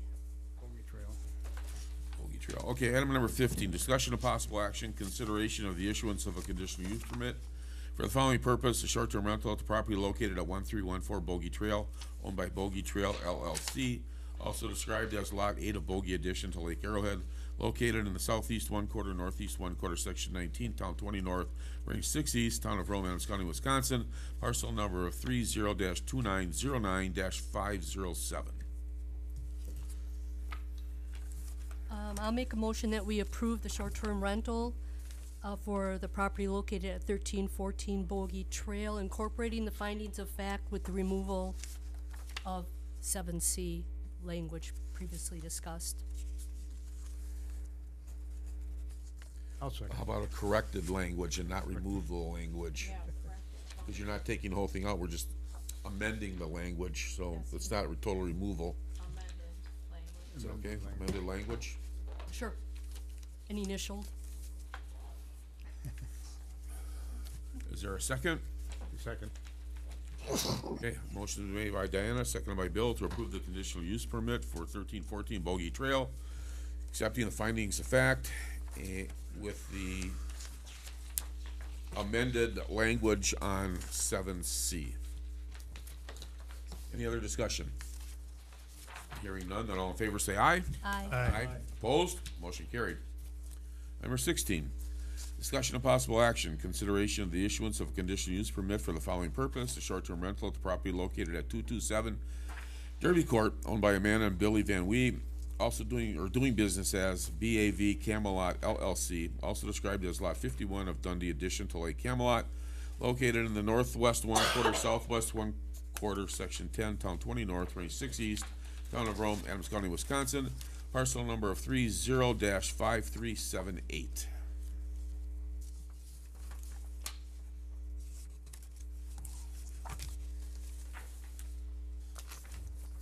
You go, you gotta Oh. word it out. Go ahead, keep going. Okay, I make a recommendation that we approve, uh, the short-term, the, nope, nope, the conditional use permit for the short-term rental at two-two-seven Derby Court, incorporating the findings of fact with the correct Amended? amended language on seven C. Se- Second. Okay. Motion by Diana, second by Jerry to approve the conditional use permit for two-two-seven Derby Court with the acceptance of the finding of fact and the amended language in item seven C of the fa- findings of fact. Any further discussion? Hearing none, then all in favor say aye. Aye. Aye. Opposed? Motion carried. Item number seventeen, discussion of possible action, consideration of the issuance of a conditional use permit for the following purpose.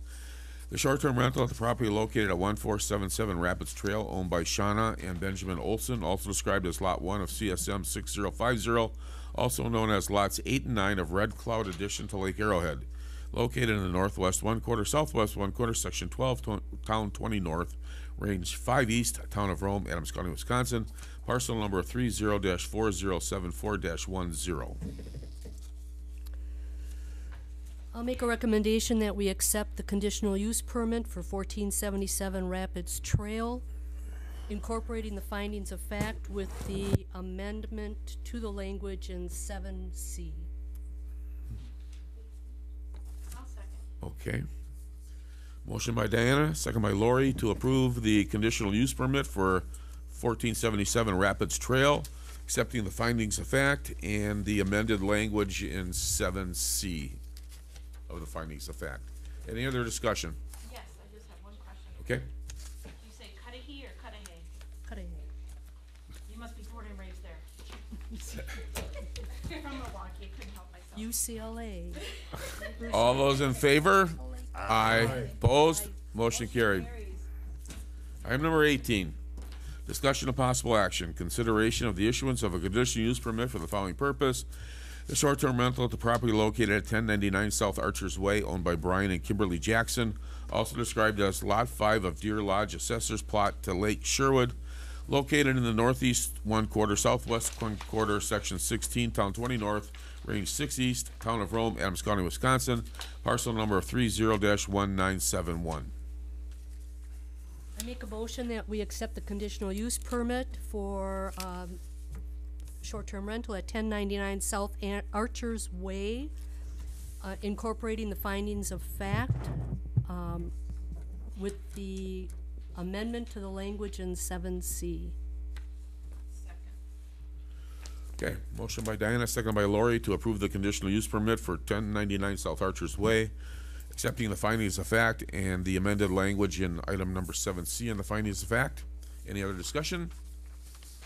Hearing none, then all in favor say aye. Aye. Aye. Opposed? Motion carried. Okay. Item number, next section is dates and items for future agenda meetings. Um, Everybody has their, uh, I think we need to pick a date then to have our, uh, campground. Yes, Mr. Chair, if I might. just Please Taylor, um, there was a lot of copying, a lot of documentation in that. I think she would really appreciate it. Could you please hang on to all of your stuff for the campground agenda item? Okay, please, if you would. And then these two will give her back uh, for the next meeting, all right? So if you could just hang on to all of your items so that she doesn't have to do all of that again. Okay. Appreciate it.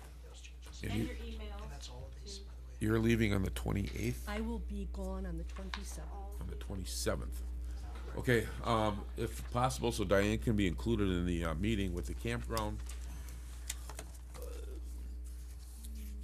What is like the w- next week, the le- week of the nineteenth, look for everybody's calendars? Um, I'll be open to any suggestions. I can do it any, any day, anytime, any day.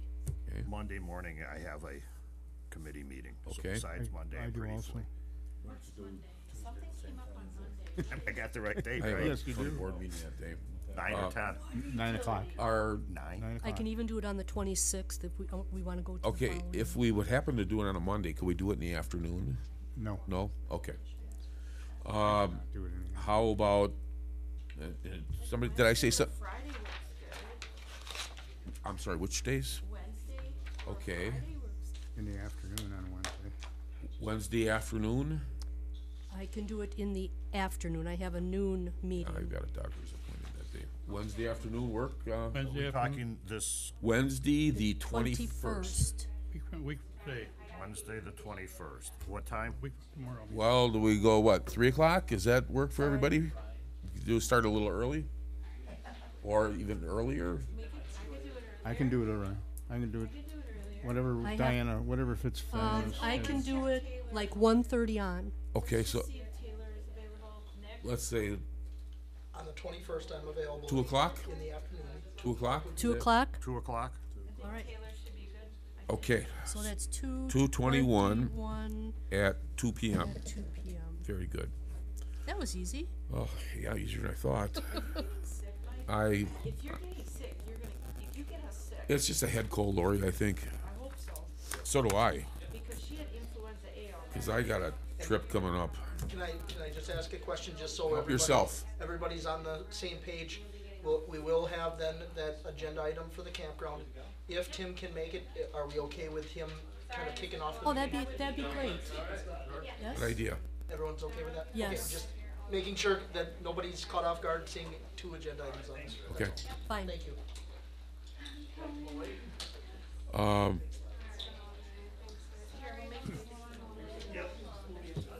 and then we already have, uh, reviewing camping regulations and developed subdivisions Wh- Which also may be part of the discussion. the audit as well, so. Oh, I see. Maybe not at that meeting. Yeah, so We'll we're- save that for March. Okay, And, Sounds and good. there are, there are other, uh, applications we've received that will be in March as well, so that, that agenda will build itself, that's. We wanna for do sure. permitted and conditional uses, but that housing thing in the Rome Town Center, cause we've got development, yeah. okay. That's fine, that's good with me. So are we also setting the March date then? Well, the March date will be March twelfth, twenty twenty-four, four o'clock, and I know you'll be gone. Correct. Okay. Oh, sure. From the pool. So, understand that with trap shooters, we can't, Um, the staff report on this, there's a town board approval step there. um, You don't have them sign it? ye- You can have them sign it, On- just well, make I sure that they lost it understand now. that that's gotta come to the town board for approval.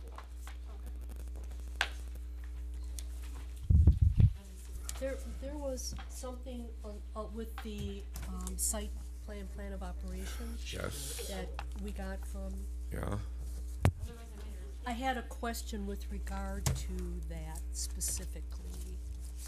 It said seemingly, and that bothered me, and I didn't understand what that meant. Staff report, uh, Dan's report. On the report that was provided to us from the, from the site plan, plan of operation portion of the Barnum. right, and that was the one that was in, the internal one? Yes. I don't understood, he, I don't understand what that meant, and if there's something we should be asking for at the next meeting, that would make that word seemingly be ta- taken out of it. Is this the one you're looking The at? Plan Commission Administrator Report, This one? this one. Which, what, I, uh, Item seven B and C, it says Plan Commission Administrator Report. Yeah, okay. And it says representatives sign new business information sheet and seemingly meets requirements. I don't know what that means. I must be I would like clarification on that. And then it also talks about the operation checklist and seemingly meets requirements. What are we missing that makes it seemingly and not meets? It's in the packet, right for that agenda item. It's kind of the, the cover, first sheet of that packet. I don't understand that. Oh, yep, Agreed, I yep. agree. okay. Can we either have clarification on it or additional documentation oh, to make that word go away? I'm just, I, my question. Okay, Is it on, it's on that one and which other one It's, it, it's both, both of them are on that report. The word seemingly is used twice, seemingly We'll meets get it from him requirement. tomorrow. Will you be here tomorrow? Or no? Um, No? Thursday. Double Thursday. Yeah, all right. I don't know if I'll be able to stand up. Where else, what other paragraph did you see? It's, it's both in the The same sen- the- paragraph. The next, Yep, it's, the next sentence. one relates to the site plan, plan two of seemingly operation similar. checklist, and one relates to the, uh, new business information sheet. You can have it anytime you want. Oh, well, we're saving that, I wanna get a gold one for Diana. Okay, no. Okay, I'll see what I can do. I also take Bitcoin.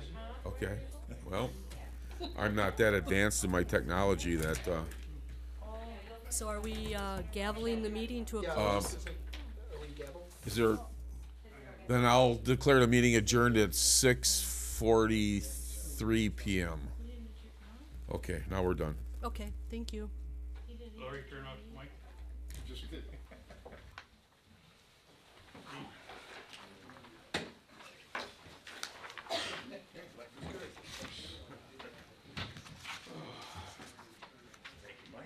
Okay. Anybody's welcome to it. Welcome to what? Welcome to this job. Well, I, I think it's a very important topic for everybody out there, so I wanted to let them speak as much as they, I they could, understand. without really going over and over and over the same things. Stuff.